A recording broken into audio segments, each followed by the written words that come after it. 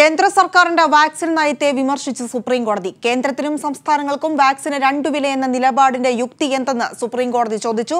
വിശദാംശങ്ങളുമായി വിഷ്ണു ദില്ലിൽ നിന്നും ചേരുന്നുണ്ട്. ദിലു വിഷ്ണു ഈ ഒരു വിഷയവുമായി ബന്ധപ്പെട്ട എന്താണ് സുപ്രീം കോടതിയുടെ നിരീക്ഷണം? പ്രിയ വാക്സിൻ നയത്തിൽ ഇപ്പോൾ കേന്ദ്ര സർക്കാരിനെ തീർത്തും പ്രതിസന്ധിയിലാക്കിക്കൊണ്ടാണ് സുപ്രീം കോടതി ചില ചോദ്യങ്ങൾ ഉന്നയിച്ചിരിക്കുന്നത്. കേന്ദ്ര സർക്കാരിന്റെ വാക്സിൻ പോളിസി എന്താണ് എന്നുള്ള കാര്യം വ്യക്തമാക്കണമെന്ന് ആവശ്യപ്പെട്ട സുപ്രീം കോടതി കേന്ദ്ര സർക്കാർ ഇപ്പോൾ പ്രവർത്തിക്കുന്നത് സർക്കാർ എന്ന നിലയ്ക്കാണോ അല്ലെങ്കിൽ ദേശീയ ഏജൻസി എന്ന നിലയ്ക്കാണോ എന്നൊരു ചോദ്യം സുപ്രീം കോടതിയുടെ ഭാഗത്തുനിന്ന് ഉണ്ടായിട്ടുണ്ട്. അതോടൊപ്പം തന്നെ ജസ്റ്റിസ് ഡി വൈ ചന്ദ്രചൂഡ് വ്യക്തമാക്കിയിരിക്കുന്നത് കേന്ദ്ര സർക്കാർ പ്രവർത്തിക്കേണ്ടത് ഫെഡറൽ തത്വങ്ങൾക്ക് അനുസരിച്ചുകൊണ്ടാണ് അത്തരത്തിൽ ഫെഡറൽ തത്വങ്ങൾക്ക് അനുസരിച്ചുകൊണ്ട് പ്രവർത്തിക്കുന്ന ഒരു സർക്കാരാണ് എന്നുണ്ടെങ്കിൽ കേന്ദ്ര സർക്കാർ തന്നെ വാക്സിൻ വാങ്ങി സംസ്ഥാനങ്ങൾക്ക് നൽകുകയാണ് വേണ്ടത് എന്നൊരു കാര്യം കോടതി കൃത്യമായി തന്നെ പറഞ്ഞിരിക്കുന്നു. അതോടൊപ്പം തന്നെ കോടതിയിൽ നിന്ന് ഇന്ന് കേന്ദ്ര സർക്കാരിനെതിരെ ഉയർത്തു വന്നിരിക്കുന്ന പ്രധാനപ്പെട്ട ചോദ്യങ്ങൾ എന്ന് പറയുന്നത് കേന്ദ്ര സർക്കാർ ഒരു വാക്സിൻ പോളിസി ഡോക്യുമെന്റ് ഉണ്ടാക്കിയിട്ടുണ്ടോ? അത്തരത്തിലൊരു ഡോക്യുമെന്റ് ഉണ്ടാക്കിയിട്ടുണ്ടെങ്കിൽ അത് എന്തുകൊണ്ടാണ് ഇതുവരെ സുപ്രീം കോടതിക്ക് കൈമാറാത്തത്? നാളെ ഇതുവരെയായിട്ട് അത്തരമൊരു ഡോക്യുമെന്റ് സുപ്രീം കോടതി കണ്ടിട്ടില്ല.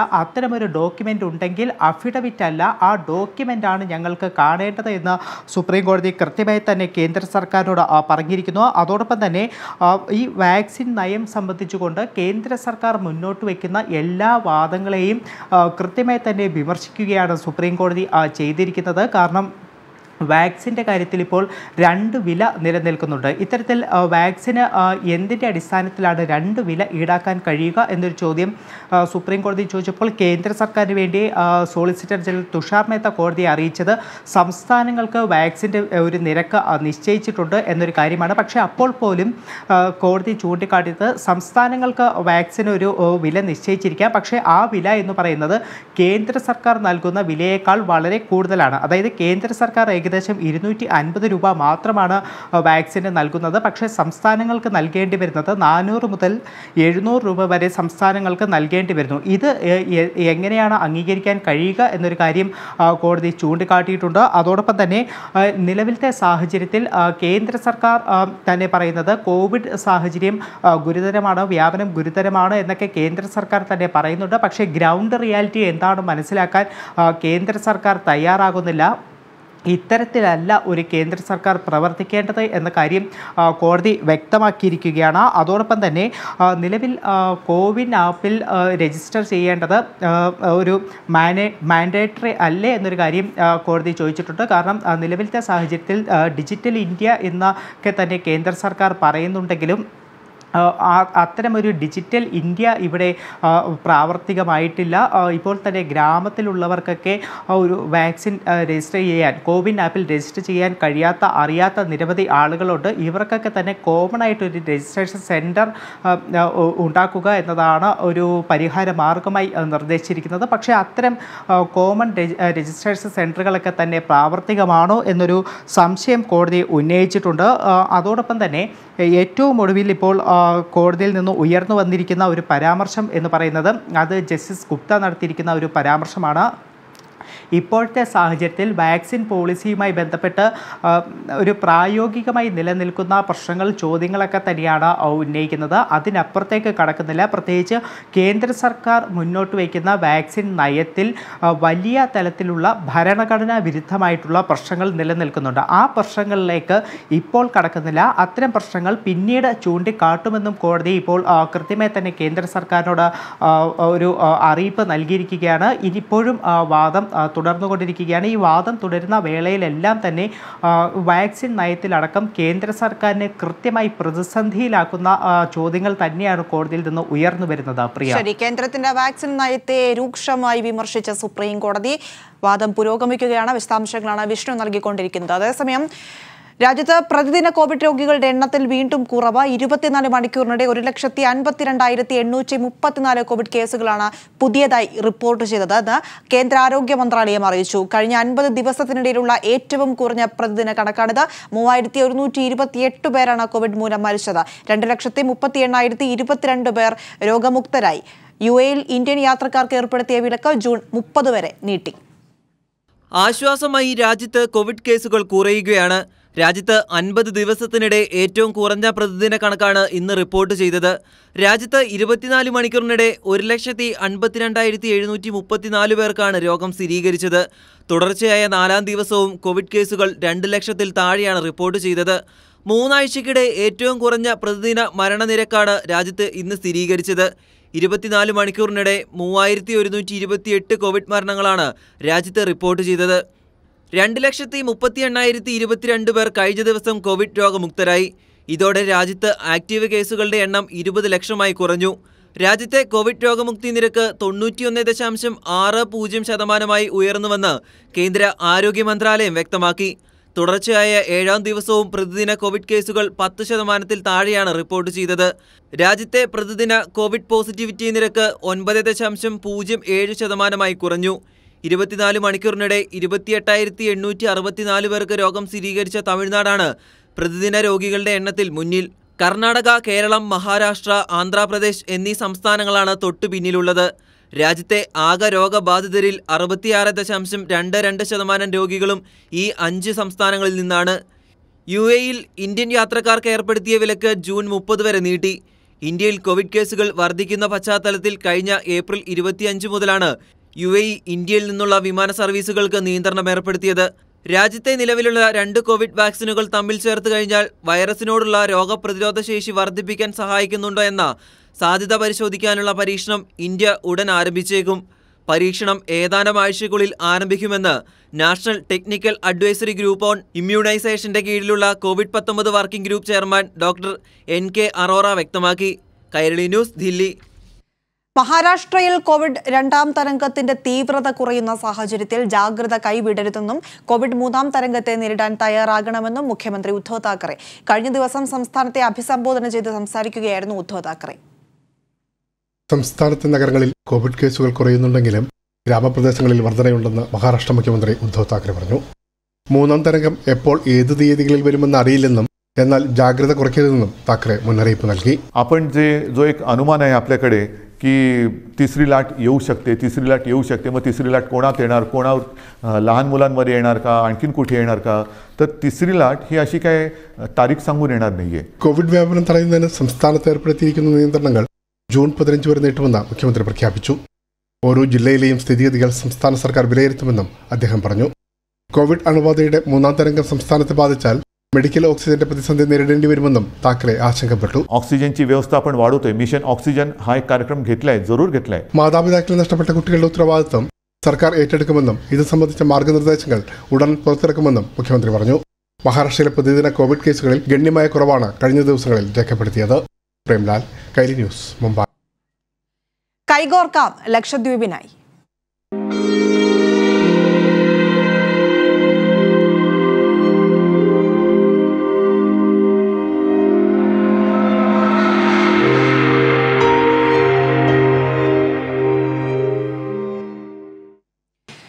ഇന്ന് കേരളത്തെ സംബന്ധിച്ച് ഏറ്റവും പ്രധാനപ്പെട്ട ഒരു ദിവസം തന്നെയായിരുന്നു. ലക്ഷദ്വീപിൽ നടക്കുന്ന ഭരണകൂടത്തിന്റെ കിരാത നടപടിക്കെതിരെ കേരളം കൈകോർത്ത ദിവസം നിയമസഭയിൽ പ്രമേയം പാസാക്കിയിരിക്കുകയാണ്. കാവ്യവൽക്കരണവും കോർപ്പറേറ്റുവൽക്കരണവും നടപ്പാക്കുന്നതിനായി ലക്ഷദ്വീപിൽ കൊണ്ടുവന്നിരിക്കുന്ന പരിഷ്കാരങ്ങൾ പിൻവലിക്കണമെന്ന് കേരള നിയമസഭ ഐക്യകണ്ഠേന പാസാക്കിയ പ്രമേയം. ആവശ്യപ്പെട്ടു. ആർ എസ് എസിന്റെ വർഗീയ അജണ്ട നടപ്പാക്കുന്ന അഡ്മിനിസ്ട്രേറ്ററെ കേന്ദ്രം തിരിച്ചു വിളിക്കണമെന്ന് മുഖ്യമന്ത്രി ആവശ്യപ്പെട്ടു. ദ്വീപിൽ നടക്കുന്നത് ഗുരുതരമായ മനുഷ്യാവകാശ ലംഘനമെന്ന് പ്രതിപക്ഷ നേതാവ് വി ഡി സതീശനും പറഞ്ഞു. കേരളത്തിന്റെ ജനഹൃദയങ്ങൾ ലക്ഷദ്വീപിനൊപ്പമെന്ന പ്രഖ്യാപനമാണ് മുഖ്യമന്ത്രി പിണറായി വിജയൻ നിയമസഭയിൽ അവതരിപ്പിച്ച പ്രമേയത്തിലൂടെ നൽകിയ സന്ദേശം. കേന്ദ്ര സർക്കാരിന്റെ സംഘപരിവാർ അജണ്ട തുറന്നുകാട്ടുന്നതായിരുന്നു പ്രമേയം. ഗോവധ നിരോധനവും കാവ്യവൽക്കരണവും ജനാധിപത്യം ഇല്ലാതാക്കി ഉദ്യോഗസ്ഥ ഭരണം അടിച്ചേൽപ്പിക്കുന്നതിനുമുള്ള കേന്ദ്ര സർക്കാർ ശ്രമങ്ങളെ പ്രമേയത്തിലൂടെ മുഖ്യമന്ത്രി എടുത്തുകാട്ടി.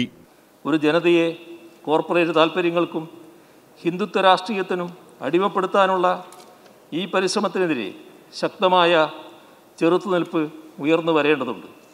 എങ്കിൽ മാത്രമേ ദേശീയ സ്വാതന്ത്ര്യ പ്രസ്ഥാനം വിഭാവനം ചെയ്ത നാനാത്വത്വ ഏകത്വമെന്ന ഇന്ത്യ രാജ്യത്തിന്റെ നിലനിൽപ്പിനാധാരമായ കാഴ്ചപ്പാടുകളെ സംരക്ഷിക്കാനാവും. കേരളവുമായുള്ള ചരിത്രപരമായ ബന്ധവും ആത്മബന്ധവും ചൂണ്ടിക്കാട്ടിയുള്ള പ്രമേയത്തിൽ ലക്ഷദ്വീപിലെ ജനങ്ങൾക്ക് ഐക്യദാർഢ്യവും അഡ്മിനിസ്ട്രേറ്ററെ പിൻവലിക്കണമെന്ന ആവശ്യവും പ്രമേയത്തിലൂടെ കേന്ദ്ര സർക്കാരിനോട് കേരളം ആവശ്യപ്പെട്ടു. കേന്ദ്രഭരണ പ്രദേശമായ ലക്ഷദ്വീപിന്റെയും അവിടുത്തെ ജനങ്ങളുടെയും സവിശേഷതകൾ സംരക്ഷിക്കപ്പെടുന്നു എന്ന് ഉറപ്പുവരുത്താനുള്ള ഉത്തരവാദിത്വം കേന്ദ്ര സർക്കാരിനുണ്ട്. അതിന് വെല്ലുവിളി ഉയർത്തുന്ന അഡ്മിനിസ്ട്രേറ്ററെ അദ്ദേഹത്തിന്റെ ഉത്തരവാദിത്വങ്ങളിൽ നിന്ന് നീക്കം ചെയ്യണം.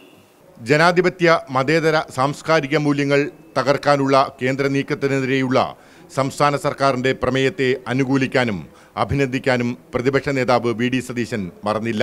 ബഹുമാനപ്പെട്ട മുഖ്യമന്ത്രി ഇവിടെ അവതരിപ്പിച്ച പ്രമേയത്തോട് ഞാനും എന്റെ കക്ഷിയും പ്രതിപക്ഷ കക്ഷികളും ഞങ്ങൾ പൂർണമായി അതിനോട് തത്വത്തിൽ യോജിക്കുകയാണ്. ജനാധിപത്യ വിരുദ്ധവും മനുഷ്യാവകാശങ്ങളെ ധ്വംസിക്കുന്നതുമായ ഒരു സാംസ്കാരികമായ അധിനിവേശമാണ് കേന്ദ്ര സർക്കാർ ഈ അഡ്മിനിസ്ട്രേറ്ററിലൂടെ അവിടെ നടത്തിക്കൊണ്ടിരിക്കുന്നത്. രാജ്യത്തിന്റെ ജനാധിപത്യ മൂല്യങ്ങളും മതേതരത്വവും സംസ്കാരവും കാത്തുസൂക്ഷിക്കാൻ കേരളം എന്നും മുൻപന്തിയിൽ ഉണ്ടാകുമെന്ന സന്ദേശം രാജ്യത്തിന് ഒരിക്കൽ കൂടി നൽകിയാണ് പ്രമേയം നിയമസഭ ഏകകണ്ഠമായി പാസാക്കിയത് ലെസ്ലി ജോൺ. തിരുവനന്തപുരം. ലക്ഷദ്വീപിനെതിരായ കേന്ദ്ര നീക്കങ്ങളിൽ പ്രതിഷേധിച്ച സി പി ഐ എം നേതൃത്വത്തിൽ കൊച്ചിയിലെയും കോഴിക്കോട്ടെയും ലക്ഷദ്വീപ് ഓഫീസുകൾക്ക് മുന്നിൽ പ്രതിഷേധം. വിവരങ്ങളുമായി കോഴിക്കോട് നിന്നും ലതീഷ് ചേരുന്നുണ്ട്. ലതീഷ് ലക്ഷദ്വീപിൽ നടക്കുന്ന ഭരണകൂടത്തിന്റെ കിരാത നടപടിക്കെതിരെ ശക്തമായ പ്രതിഷേധം നടക്കുമ്പോൾ സി ആ പ്രതിഷേധത്തിൽ ഭാഗമായിരിക്കുന്നു. കോഴിക്കോട് സമരം ഏത് രീതിയിലാണ് പുരോഗമിക്കുന്നത്? പ്രിയ ലക്ഷദ്വീപിനെ തകർക്കുന്ന കേന്ദ്ര സർക്കാർ നീക്കത്തിനെതിരെ ശക്തമായ പ്രതിഷേധമാണ് കോഴിക്കോട് കൊച്ചി എന്നിവിടങ്ങളിൽ സി പി ഐ എം നേതൃത്വത്തിൽ ഉയർന്നത്. ലക്ഷദ്വീപ് അഡ്മിനിസ്ട്രേറ്ററെ തിരിച്ചുവിളിക്കുക ബേപ്പൂരിന്റെയും കൊച്ചിയുടെയും സ്ഥാനം മംഗലാപുരത്തിന് പതിച്ചു നൽകാനുള്ള രാഷ്ട്രീയ പകപോക്കൽ നയം കേന്ദ്രം ഉപേക്ഷിക്കുക കേരളവുമായുള്ള ലക്ഷദ്വീപ് ജനതയുടെ ബന്ധം വിച്ഛേദിക്കാനുള്ള നീക്കത്തിൽ പ്രതിഷേധിക്കുക എന്നീ മുദ്രാവാക്യം ഉയർത്തിയായിരുന്നു കോഴിക്കോടും അതേപോലെ തന്നെ കൊച്ചിയിലും ഇന്ന് പ്രതിഷേധം സി പി എം നേതൃത്വത്തിൽ നടന്നത്. ലക്ഷദ്വീപ് അഡ്മിനിസ്ട്രേഷൻ അസിസ്റ്റന്റ് എഞ്ചിനീയർ ഓഫീസിന് മുന്നിൽ നടന്ന പ്രതിഷേധം സംസ്ഥാന കമ്മിറ്റി അംഗം എ പ്രദീപ് കുമാറാണ് ഉദ്ഘാടനം ചെയ്തത്. കൊച്ചി വെല്ലിംഗ്ടൺ ഐലൻഡിലെ ലക്ഷദ്വീപ് അഡ്മിനിസ്ട്രേഷൻ ഓഫീസിന് മുന്നിൽ നടന്ന പ്രതിഷേധം എറണാകുളം ജില്ലാ സെക്രട്ടറി ടി എൻ മോഹൻ ഉദ്ഘാടനം ചെയ്തു. കോവിഡ് മാനദണ്ഡങ്ങൾ പാലിച്ച് നാല് പേരാണ് കൊച്ചിയിലെ പ്രതിഷേധത്തിൽ പങ്കെടുത്തത്. സി പി ഐ നേതാക്കളായ Riyad K J Antony B Hamsa എന്നിവരും ജില്ലാ സെക്രട്ടറിക്കൊപ്പം ഈ പ്രതിഷേധത്തിൽ പങ്കെടുത്തു. ബേപ്പൂരിൽ കൃത്യമായി അകലം പാലിച്ചുകൊണ്ട് പ്രവർത്തകർ പ്രതിഷേധത്തിൽ പങ്കാളികളായി ബേപ്പൂരിൽ നടന്ന പ്രതിഷേധത്തിൽ മുൻ M L A P K C Muhammad Goya M Girish എന്നിവരും സംസാരിച്ചു. എന്തായാലും വലിയ പ്രതിഷേധമാണ് കേരളത്തിന്റെ ഭാഗത്തു നിന്ന് ലക്ഷദ്വീപ് ജനതയ്ക്ക് ഐക്യദാർഢ്യം പ്രകടിപ്പിച്ചുകൊണ്ട് ഇന്ന് സി പി എം നേതൃത്വത്തിൽ ഉയർന്നത്. ശരി ലതീഷാണ് കോഴിക്കോട് നിന്നും വിവരങ്ങൾ നൽകിയത്. കൊച്ചിയിൽ നിന്നും ഷാജഹാൻ കൂടി ചേരുന്നുണ്ട്. ഷാജഹാൻ കൊച്ചിയിൽ പ്രധാനമായും ഈ പ്രതിഷേധം നടന്നത് എവിടെയാണ്? എങ്ങനെയുണ്ടായിരുന്നു സമരം?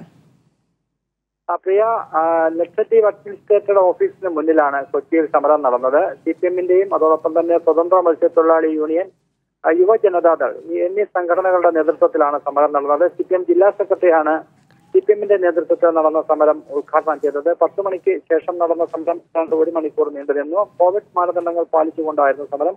അതിനുശേഷമാണ് സ്വതന്ത്ര മത്സ്യത്തൊഴിലാളികളുടെ സമരം നടന്നത്. കേന്ദ്ര സർക്കാരിന്റെ ഈ ജനവിരുദ്ധ നയങ്ങൾക്കെതിരെ അതായത് ജനങ്ങളുടെ ആവശ്യങ്ങൾക്ക് അത് എതിരെയുള്ള കടന്നുകയറ്റത്തിനെതിരെയുള്ള ശക്തമായ സമര പരിപാടികളുമായിട്ട് മുൻപോട്ട് പോകുമെന്നാണ് സി പി എം ജില്ലാ സെക്രട്ടറി പറയുന്നത്. അടുത്ത മാസം കേരളത്തിലെ എല്ലാ കേന്ദ്ര ഗവൺമെന്റ് സ്ഥാപനങ്ങൾക്ക് മുന്നിലും സമരം നടത്താനും തീരുമാനിച്ചതായും അദ്ദേഹം അറിയിച്ചു. അതിനുശേഷം സ്വതന്ത്ര മത്സ്യത്തൊഴിലാളികളുടെ സമരമാണ് നടന്നത്. പിന്നീട് യുവജനതാദളിന്റെ സമരം നടന്നു. അതിൽ അഡ്മിനിസ്ട്രേറ്ററുടെ കോലത്തിൽ ചാണകവെള്ളം തളിച്ചുകൊണ്ടാണ് അഡ്മിനിസ്ട്രേറ്ററുടെ ഓഫീസിന് മുന്നിൽ സമരം നടന്നത്. ഇത്തരത്തിൽ പ്രതിഷേധ സമരങ്ങൾ ഓരോ ദിവസവും വർദ്ധിച്ചു വരികയാണ്. ഇന്നിപ്പോൾ മൂന്ന് നാല് സംഘടനകളാണ് സമരം നടത്തിയത്. വരും ദിവസങ്ങളിൽ ശക്തമായ സമരങ്ങൾക്കാണ് കൊച്ചി സാക്ഷിയാകേണ്ടി വരിക. ശരി ലക്ഷദ്വീപ് വിഷയത്തിൽ പ്രതിഷേധവുമായി സി പി ഐ എം ഇന്ന് കോഴിക്കോടും കൊച്ചിയിലും പ്രധാനപ്പെട്ട കേന്ദ്രങ്ങളിൽ പ്രതിഷേധം നടന്നു. കോവിഡ് മാനദണ്ഡങ്ങൾ പൂർണമായും പാലിച്ചായിരുന്നു ഈ പ്രതിഷേധം. വിശദാംശങ്ങളാണ് കൊച്ചിയിൽ നിന്ന് ഷാജഹാനും കോഴിക്കോട് നിന്ന് ലതീഷും നൽകിയത്. ലക്ഷദ്വീപിൽ നടപ്പാക്കുന്ന നിർദ്ദിഷ്ട ചട്ട ഭേദഗതികൾ ഭരണഘടനാ വിരുദ്ധമാണെന്ന് ആരോപിച്ച് കവരത്തി സ്വദേശി സമർപ്പിച്ച ഹർജി ഹൈക്കോടതി തീർപ്പാക്കി. അഭിപ്രായങ്ങളും നിർദ്ദേശങ്ങളും എതിർപ്പുകളും സമർപ്പിക്കാൻ നിയമപരമായി ലഭിക്കേണ്ട മുപ്പത് ദിവസത്തെ സമയം ദ്വീപ് നിവാസികൾക്ക് ലഭിച്ചില്ലെന്ന് ആരോപിച്ചായിരുന്നു ഹർജി. ഇരുപത്തിയൊന്ന് ദിവസം സമയം അനുവദിച്ചുവെന്നും അഞ്ഞൂറ്റി തൊണ്ണൂറ്റിമൂന്ന് ശുപാർശകൾ ലഭിച്ചുവെന്നും നൽകണമെന്നും കേന്ദ്ര സർക്കാർ കോടതിയെ അറിയിച്ചു. നിർദ്ദേശങ്ങൾ സമർപ്പിക്കാൻ ഹർജിക്കാരന് രണ്ടാഴ്ച കൂടി സമയം അനുവദിച്ച് ഹർജി കോടതി തീർപ്പാക്കി. ചട്ടങ്ങൾ രൂപീകരിക്കുന്നതിന് മുൻപ് ശുപാർശകൾ പ്രസിദ്ധീകരിക്കണമെന്ന ആവശ്യം കോടതി അംഗീകരിച്ചില്ല. പരാതി ഉണ്ടെങ്കിൽ ഹർജിക്കാരന് പിന്നീട് കോടതിയെ സമീപിക്കാമെന്ന് ചൂണ്ടിക്കാട്ടി ഡിവിഷൻ ബെഞ്ച് ഹർജി തീർപ്പാക്കുകയായിരുന്നു. അതേസമയം കേരള നിയമസഭ പാസാക്കിയ പ്രമേയം ഭരണഘടനാ വിരുദ്ധമെന്ന എ പി അബ്ദുള്ളക്കുട്ടി. പ്രമേയം ആഭ്യന്തര മന്ത്രാലയത്തെ വെല്ലുവിളിക്കുന്നത് ലക്ഷദ്വീപ് ബി ജെ പി നേതാക്കൾ സംഘടനാ ജനറൽ സെക്രട്ടറി ബി എൽ സന്തോഷുമായി കൂടിക്കാഴ്ച നടത്തി. ഇവരെ പ്രമേയത്തിന് ഒരു വിലയില്ല. കടലാസിന്റെ വില പോലും ഇല്ല എന്നാണ് എനിക്ക് പറയാൻ ആശങ്കകളുണ്ട് ജനങ്ങൾക്ക് ഈ പുതിയ പരിഷ്കാരങ്ങളിൽ. ആ തീർച്ചയായും ഈ പരിഷ്കാരങ്ങൾ ജനങ്ങൾക്കിടയിൽ അഭിപ്രായങ്ങൾ ആരാഞ്ഞുകൊണ്ടാണ് നടപ്പിലാക്കാൻ പോകുന്നത്? ബി ജെ പി നേതാക്കളുടെ നിർദ്ദേശപ്രകാരമാണ് പ്രതികൾക്ക് മുറിയെടുത്ത് നൽകിയതെന്ന് B J P Thrissur office secretary സതീശന്റെ നിർണായക മൊഴി. കണ്ണൂർ കോഴിക്കോട് ജില്ലകളിലെ പ്രതികളുടെ വീടുകളിൽ പോലീസ് റെയ്ഡ് അന്വേഷണം ഉന്നത ബി ജെ പി നേതാക്കളിലേക്ക്. വിവരങ്ങളുമായി ഗോകുൽ ചേരുകയാണ്. ഗോകുൽ സതീശനുമായുള്ള ചോദ്യം ചെയ്യൽ ഏതാണ്ട് അവസാനിച്ചിരിക്കുന്നു എന്നാണ് മനസ്സിലാക്കാൻ സാധിക്കുന്നത്. എന്തെങ്കിലും വിവരങ്ങളാണ് പുറത്തു വരുന്നത് ഇത് സംബന്ധിച്ച്? പോലീസിന്റെ ഭാഗത്തുനിന്നും എന്തെങ്കിലും നിർണായക വിവരങ്ങൾ ലഭിച്ചിട്ടുണ്ടോ? പ്രിയ പ്രധാനമായും സതീഷിന്റെ ചോദ്യം ചെയ്യൽ പൂർത്തിയായി എന്നുള്ളതാണ്. ഇദ്ദേഹം പോലീസിനോട് പറഞ്ഞിട്ടുള്ളത് ജില്ലാ നേതാക്കളുടെ നിർദ്ദേശപ്രകാരമാണ് മുറി എടുത്തു നൽകിയത് എന്നുള്ളതാണ്. ഈ കുഴൽപ്പണ സംഘവും ഇവരുമായി നേരിട്ട് പരിചയമില്ല. ധർമ്മരാജനുമായോ മറ്റ് ആൾ ആൾക്കാരുമായോ കുഴൽപ്പണ സംഘമായോ നേരിട്ട് പരിചയമില്ല. പക്ഷേ ജില്ലാ നേതാക്കളുടെ നിർദ്ദേശപ്രകാരമാണ് മൊഴിയെടുത്ത് നൽകിയത് എന്നുള്ളതാണ്. ഇത് വളരെ കേസിനെ സംബന്ധിച്ചിടത്തോളം വളരെ നിർണായകമാണ്. അതായത് ബി ജെ പി ജില്ലാ നേതാക്കൾ അറിഞ്ഞുകൊണ്ടാണ് ഇത്തരത്തിലൊരു കുഴൽപ്പണക്കടത്ത് നടത്തുന്നു എന്നുള്ളത്. കൃത്യമായ ഒരു തെളിവാണ് ഇപ്പോൾ അന്വേഷണ സംഘം അല്ലെങ്കിൽ കൃത്യമായ ഒരു മൊഴിയാണ് ഇപ്പോൾ അന്വേഷണ സംഘത്തിന് ലഭിച്ചിട്ടുള്ളത്. ജില്ലാ നേതാക്കൾ ഈ നിർദ്ദേശം നൽകി അതനുസരിച്ച് മുറിയെടുത്ത് നിർത്തി എന്നുള്ളതാണ്. ഇത് വ്യക്തമാക്കുന്നത് തൃശൂർ ജില്ലാ നേതൃത്വത്തിന് ഇതിൽ ഈ ഒരു കുഴൽപ്പണക്കടത്തുമായി ബന്ധപ്പെട്ട വിഷയത്തിലുള്ള പങ്കാണ് ഇത് വ്യക്തമാക്കുന്നത്. അതോടൊപ്പം തന്നെ പക്ഷെ ധർമ്മരാജിനെ നേരിട്ട് പരിചയമില്ല ഫോണിൽ വിളിച്ചിട്ടില്ല എന്നുള്ളതാണ് മൊഴി നൽകിയിട്ടുള്ളത്. ഈ കാര്യം പക്ഷെ അന്വേഷണ സംഘം പരിശോധിക്കും ധർമ്മരാജിനെ ഇയാൾ വേറെ ഏതെങ്കിലും രീതിയിൽ ബന്ധപ്പെട്ടിരുന്നോ നേരിട്ടോ അല്ലാതെയോ ബന്ധപ്പെട്ടിരുന്നോ എന്നുള്ളത് അന്വേഷണ സംഘം പരിശോധിക്കും. ഈ ഒരു അതായത് ഈ കുഴൽപ്പണം ഈ ഇതുമായി ബന്ധപ്പെട്ടതല്ലാതെ മറ്റേതെങ്കിലും രീതിയിൽ ധർമ്മരാജനുമായി ഇതിനു മുൻപ് ബന്ധമുണ്ടായിരുന്നു എന്നുള്ള കാര്യം അന്വേഷണ സംഘം പരിശോധിച്ചതിന് ശേഷം മാത്രമേ അതിലൊരു വിലയിരുത്തൽ നടത്താൻ കഴിയുകയുള്ളൂ. അതോടൊപ്പം തന്നെ കൂടുതൽ പ്രതികൾ അല്ലെങ്കിൽ അല്ലെ- ക്ഷമിക്കണം കൂടുതൽ പേരെ ഈ അന്വേഷണത്തിന്റെ പരിധിയിലേക്ക് വരുന്നു എന്നുള്ളതാണ്. ഇത് ഈ ഓരോ മൊഴികൾ പുറത്തു വരുമ്പോഴും നമുക്ക് വ്യക്തമാകുന്നത്. അതായത് കൂടുതൽ കൂടുതൽ ജില്ലാ നേതൃത്വത്തിൽ ഉള്ള ജില്ലാ നേതൃത്വത്തിലെ കൂടുതൽ വ്യക്തികൾക്ക് ഇതിൽ പങ്കുണ്ട് എന്നുള്ളത് മനസ്സിലാക്കുന്ന രീതിയിലാണ് ഓരോ മൊഴികളും പുറത്തു വരും വന്നുകൊണ്ടിരിക്കുന്നത്. അതോടൊപ്പം തന്നെ സംസ്ഥാന നേതൃത്വത്തിലെ ഉന്നതർക്കും ഇതിൽ പങ്കുണ്ട് എന്നുള്ള തെളിവുകളും കഴിഞ്ഞ ദിവസങ്ങളിലെല്ലാം തന്നെ പുറത്തു വന്നു വന്നിരുന്നു. ഈ ഒരു കേസുമായി അതായത് കുഴൽപ്പണം തട്ടിയ സംഭവവുമായി ബന്ധപ്പെട്ട് ഏകദേശം പത്തൊൻപത് പ്രതികളെയാണ് പിടിച്ചത്. ഇവർ ഇവരുടെ മൊഴിയുടെ അടിസ്ഥാനത്തിൽ ഇരുപത് പേർക്ക് പണം വീതിച്ച് നൽകി എന്നുള്ളതാണ് മൊഴി ഉള്ളത്. അതുകൊണ്ട് തന്നെ കോഴിക്കോട് കണ്ണൂർ ഈ മേഖലയിലുള്ളവർ ഉള്ള പ്രതികളുടെ വീടുകളിലും അവരുമായി ബന്ധപ്പെട്ട കേന്ദ്രങ്ങളിലും എല്ലാം തന്നെ പോലീസ് റെയ്ഡ് നടത്തി നടത്തിയിട്ടുണ്ട് എന്നുള്ളതാണ് മനസ്സിലാക്കാൻ കഴിയുന്നത്. എത്ര രൂപ പിടിച്ചെടുത്തു എന്നുള്ള ഇതിനെ കുറിച്ച് ധാരണയായിട്ടില്ല. വരുന്ന മണിക്കൂറുകളിൽ തന്നെ അതിനെ സംബന്ധിച്ച് ധാരണയാകും എന്നുള്ളതാണ് നമുക്കിപ്പോൾ മനസ്സിലാക്കാൻ കഴിയുന്നത് പ്രിയ. ശരി കൊടകര കുഴൽപ്പട കേസുമായി ബന്ധപ്പെട്ട നിർണായക വിവരങ്ങളാണ് പുറത്തുവരുന്നത് സതീഷിന്റെ ചോദ്യം ചെയ്യൽ അവസാനിച്ചിരിക്കുന്നു. ജില്ലാ നേതാക്കന്മാരുടെ നിർദ്ദേശമനുസരിച്ചാണ് പണം കൊണ്ടുവന്ന സംഘത്തിന് റൂം എടുത്തു കൊടുത്തത് എന്നാണ് സതീശൻ ഇപ്പോൾ പറഞ്ഞിരിക്കുന്നത്. ഒപ്പം ബാക്കി പണം കണ്ടെത്താനുള്ള റെയ്ഡ് നേതാക്കളുടെ വീടുകളിൽ പുരോഗമിക്കുന്നു. വിശദാംശങ്ങളാണ് ഗോകുൽ നൽകിയത്. സംസ്ഥാനത്ത് പുതിയ അധ്യയന വർഷത്തിന് നാളെ തുടക്കമാകും. കോവിഡ് മഹാമാരിയുടെ പശ്ചാത്തലത്തിൽ ഡിജിറ്റൽ പ്രവേശനോത്സവത്തിലൂടെയാണ് സ്കൂൾ കുട്ടികളെ വരവേൽക്കുന്നത്. രാവിലെ എട്ടരയ്ക്ക് മുഖ്യമന്ത്രി പ്രവേശനോത്സവം ഉദ്ഘാടനം ചെയ്യും. ആദ്യം ഡിജിറ്റൽ ക്ലാസുകളും പിന്നീട് ഓൺലൈൻ ക്ലാസുകളും എന്ന രീതിയിലാണ് അധ്യയന വർഷം ക്രമീകരിക്കുന്നത്. വലിയ ഉത്സവമായി കുട്ടികളെ വരവേറ്റിരുന്ന സ്കൂളുകൾ അത് മഹാമാരി നമ്മിൽ നിന്നും കവർന്നു. എന്നാൽ വെർച്വലായി വ്യത്യസ്ത പരിപാടികളുമായി കുട്ടികളെ വരവേൽക്കാൻ തയ്യാറായി കഴിഞ്ഞു പൊതുവിദ്യാഭ്യാസ വകുപ്പ്. ഫെസ്ബൽ രണ്ടാം പതിപ്പിലൂടെ ഡിജിറ്റൽ ക്ലാസുകൾ ആരംഭിക്കുന്ന ജൂൺ ഒന്നിന് കൈറ്റ് വിക്ടേഴ്സ് ചാനലിൽ വ്യത്യസ്ത മേഖലയിലെ വിദഗ്ധർ പങ്കെടുക്കുന്ന പ്രവേശനോത്സവ പരിപാടികളാണ് രാവിലെ എട്ട് മണി മുതൽ സംപ്രേക്ഷണം ചെയ്യുക. എട്ടരയ്ക്ക് മുഖ്യമന്ത്രി Pinarayi Vijayan Cotton Hill L P എസിൽ എത്തി പ്രവേശനോത്സവത്തിന് ഔദ്യോഗികമായി തുടക്കം കുറിക്കും. കോവിഡ് മാനദണ്ഡം പാലിച്ചാകും ചടങ്ങ്. തുടർന്ന് കുട്ടികളുടെ പരിപാടികളും ഉണ്ടാകും. പതിനൊന്ന് മണി മുതൽ സ്കൂൾ തല പ്രവേശനോത്സവ ചടങ്ങുകൾ വെർച്വലായി ആരംഭിക്കും. KITE CEO Anvar Sadath. ആദ്യം ഡിജിറ്റൽ ക്ലാസ്സുകൾ ആരംഭിക്കുകയും ക്രമേണ ഘട്ടം ഘട്ടമായി ഓൺലൈൻ ക്ലാസ്സുകളിലേക്ക് കൂടെ പോവുകയും ചെയ്യുന്ന സംവിധാനമാണ് ഇപ്രാവശ്യം ഉണ്ടാവുക. വളരെ മികച്ച രൂപത്തിൽ കുട്ടികൾക്ക് ഒരേ സമയം മനസ്സിലാക്കാനും അത് രസകരമായിട്ട് ഉൾക്കൊള്ളാനും കഴിയുന്ന രൂപത്തിലാണ് ഈ അക്കാദമിക് വർഷത്തെ ഡിജിറ്റൽ ക്ലാസ്സുകൾ സംപ്രേഷണം ചെയ്യാൻ പോകുന്നത്. ഫസ്റ്റ് ബെല്ലിൽ രാവിലെ പത്ത് മുപ്പതിന് അംഗൻവാടി കുട്ടികൾക്കുള്ള പുതിയ കിളിക്കൊഞ്ചൽ ക്ലാസുകൾ ആരംഭിക്കും. സംസ്ഥാനതല പ്രവേശനോത്സവത്തിന്റെ ഭാഗമായി മമ്മൂട്ടി മോഹൻലാൽ പൃഥ്വിരാജ് സുരാജ് വെഞ്ഞാറമ്മൂട് മഞ്ജു വാര്യർ തുടങ്ങിയ സിനിമാ താരങ്ങൾ കൈറ്റ് വിക്ടേഴ്സിലൂടെ കുട്ടികൾക്ക് ആശംസകൾ അർപ്പിക്കും. ആദ്യ രണ്ടാഴ്ച ട്രയൽ അടിസ്ഥാനത്തിലാകും കൈറ്റ് വിക്ടേഴ്സിലൂടെ ക്ലാസുകൾ നൽകുക. ഈ കാലയളവിൽ മുഴുവൻ കുട്ടികൾക്കും ക്ലാസുകൾ കാണാൻ അവസരമുണ്ടെന്ന് അതത് അധ്യാപകർ ഉറപ്പാക്കാനുള്ള അവസരം നൽകാനാണ് ആദ്യ ആഴ്ചകളിലെ ട്രയൽ സംരക്ഷണം. ഈ അനുഭവത്തിന്റെ കൂടി അടിസ്ഥാനത്തിലായിരിക്കും തുടർ ക്ലാസുകൾ. കൈരളി ന്യൂസ് തിരുവനന്തപുരം. ഇന്ധനവില ഇന്നും കൂട്ടി കേന്ദ്ര സർക്കാർ പെട്രോൾ ലിറ്ററിന് ഇരുപത്തിയൊൻപത് പൈസയും ഡീസൽ ലിറ്ററിന് ഇരുപത്തിയെട്ട് പൈസയുമാണ് കൂട്ടിയത്.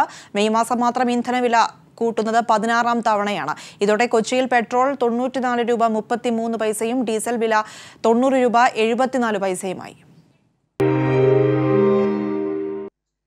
കാവ്യവത്കരണവും കോർപ്പറേറ്റുവൽക്കരണവും നടപ്പാക്കുന്നതിനായി ലക്ഷദ്വീപിൽ കൊണ്ടുവന്നിരിക്കുന്ന പരിഷ്കാരങ്ങൾ പിൻവലിക്കണമെന്ന് കേരള നിയമസഭ ഐക്യകണ്ഠേന പാസാക്കിയ പ്രമേയം ആവശ്യപ്പെട്ടു. ആർ എസ് എസിന്റെ വർഗീയ അജണ്ട നടപ്പാക്കുന്ന അഡ്മിനിസ്ട്രേറ്ററെ കേന്ദ്രം തിരിച്ചു വിളിക്കണമെന്ന് മുഖ്യമന്ത്രി ആവശ്യപ്പെട്ടു. ദ്വീപിൽ നടക്കുന്നത് ഗുരുതരമായ മനുഷ്യാവകാശ ലംഘനമെന്ന് പ്രതിപക്ഷ നേതാവ് കേരളത്തിന്റെ ജനഹൃദയങ്ങൾ ലക്ഷദ്വീപിനൊപ്പമെന്ന പ്രഖ്യാപനമാണ് മുഖ്യമന്ത്രി പിണറായി വിജയൻ നിയമസഭയിൽ അവതരിപ്പിച്ച പ്രമേയത്തിലൂടെ നൽകിയ സന്ദേശം. കേന്ദ്ര സർക്കാരിന്റെ സംഘപരിവാർ അജണ്ട തുറന്നുകാട്ടുന്നതായിരുന്നു പ്രമേയം. ഗോവധ നിരോധനവും കാവ്യവൽക്കരണവും ജനാധിപത്യം ഇല്ലാതാക്കി ഉദ്യോഗസ്ഥ ഭരണം അടിച്ചേൽപ്പിക്കുന്നതിനുമുള്ള കേന്ദ്ര സർക്കാർ ശ്രമത്തെ മുഖ്യമന്ത്രി എടുത്തുകാട്ടി. ഒരു ജനതയെ കോർപ്പറേറ്റ് താൽപ്പര്യങ്ങൾക്കും ഹിന്ദുത്വ രാഷ്ട്രീയത്തിനും അടിമപ്പെടുത്താനുള്ള ഈ പരിശ്രമത്തിനെതിരെ ചെറുത്തുനിൽപ്പ് ഉയർന്നു വരേണ്ടതുണ്ട്. എങ്കിൽ മാത്രമേ ദേശീയ സ്വാതന്ത്ര്യ പ്രസ്ഥാനം വിഭാവനം ചെയ്ത നാനാത്വത്തിൽ ഏകത്വം എന്ന ഇന്ത്യ രാജ്യത്തിന്റെ നിലനിൽപ്പിനാധാരമായ കാഴ്ചപ്പാടുകളെ സംരക്ഷിക്കാനാവൂ. കേരളവുമായുള്ള ചരിത്രപരമായ ബന്ധവും ആത്മബന്ധവും ചൂണ്ടിക്കാട്ടിയുള്ള പ്രമേയത്തിൽ ലക്ഷദ്വീപ് ഐക്യദാർഢ്യവും അഡ്മിനിസ്ട്രേറ്ററെ പിൻവലിക്കണമെന്ന ആവശ്യത്തിലൂടെ കേന്ദ്ര സർക്കാരിനോട് കേരളം ആവശ്യപ്പെട്ടു. കേന്ദ്രഭരണ പ്രദേശമായ ലക്ഷദ്വീപിന്റെയും അവിടുത്തെ ജനങ്ങളുടെയും സവിശേഷതകൾ സംരക്ഷിക്കപ്പെടുന്നു എന്ന് ഉറപ്പുവരുത്താനുള്ള ഉത്തരവാദിത്വം കേന്ദ്ര സർക്കാരിനുണ്ട്. അതിന് വെല്ലുവിളി ഉയർത്തുന്ന അഡ്മിനിസ്ട്രേറ്ററെ അദ്ദേഹത്തിന്റെ ഉത്തരവാദിത്വങ്ങളിൽ നിന്ന് നീക്കം ചെയ്യണം. ജനാധിപത്യ മതേതര സാംസ്കാരിക മൂല്യങ്ങൾ തകർക്കാനുള്ള കേന്ദ്ര നീക്കത്തിനെതിരെയുള്ള സംസ്ഥാന സർക്കാരിന്റെ പ്രമേയത്തെ അനുകൂലിക്കാനും അഭിനന്ദിക്കാനും പ്രതിപക്ഷ നേതാവ് വി ഡി സതീശൻ മറന്നില്ല. ബഹുമാനപ്പെട്ട മുഖ്യമന്ത്രി ഇവിടെ അവതരിപ്പിച്ച പ്രമേയത്തോട് ഞാനും എന്റെ കക്ഷിയും പ്രതിപക്ഷ കക്ഷികളും ഞങ്ങൾ പൂർണമായി അതിനോട് തത്വത്തിൽ യോജിക്കുകയാണ്. ജനാധിപത്യ വിരുദ്ധവും മനുഷ്യാവകാശങ്ങളെ ധ്വംസിക്കുന്നതുമായ ഒരു സാംസ്കാരികമായ അധിനിവേശമാണ് കേന്ദ്ര സർക്കാർ ഈ അഡ്മിനിസ്ട്രേറ്ററിലൂടെ അവിടെ നടത്തിക്കൊണ്ടിരിക്കുന്നത്. രാജ്യത്തിന്റെ ജനാധിപത്യ മൂല്യങ്ങളും മതേതരത്വവും സംസ്കാരവും കാത്തുസൂക്ഷിക്കാൻ കേരളം എന്നും മുൻപന്തിയിൽ ഉണ്ടാകുമെന്ന സന്ദേശം രാജ്യത്തിന് ഒരിക്കൽ കൂടി നൽകിയാണ് പ്രമേയം നിയമസഭ ഏകകണ്ഠമായി പാസാക്കിയത്. ലെസ്ലി ജോൺ തിരുവനന്തപുരം. പുതിയ കെ പി സി സി അധ്യക്ഷനായി കെ സുധാകരൻ വന്നാൽ പിന്തുണ നൽകില്ലെന്ന മുന്നറിയിപ്പുമായി എ ഐ വിഭാഗങ്ങൾ. എല്ലാവർക്കും സ്വീകാര്യനായ അധ്യക്ഷനെ പ്രഖ്യാപിക്കണമെന്നും ഗ്രൂപ്പിന് അതീതമായി നേതാക്കൾ. നേതാക്കളുടെ പിന്തുണ തേടി കൊടിക്കുന്നിൽ സുരേഷ്. രംഗത്ത് വിവരങ്ങളുമായി നൃപൻ ചേരുന്നു തിരുവനന്തപുരത്ത് നിന്നും. Nripan K P C C അധ്യക്ഷൻ ആരാകും എന്ന കാര്യത്തിലാണ് ഇപ്പോൾ കോൺഗ്രസിനുള്ളിൽ തർക്കം ശക്തമായിരിക്കുന്നത്. കെ സുധാകരന്റെ പേരാണ് ഉയർന്നു കേൾക്കുന്നതെങ്കിലും എ ഐ വിഭാഗത്തിന് രൂക്ഷ വിമർശനമാണ് ഇക്കാര്യത്തിലുള്ളത്. എന്താണ് നിലവിൽ ഏറ്റവും പുതുതായി ഇത് സംബന്ധിച്ച് വരുന്ന വിവരങ്ങൾ പുറത്ത്.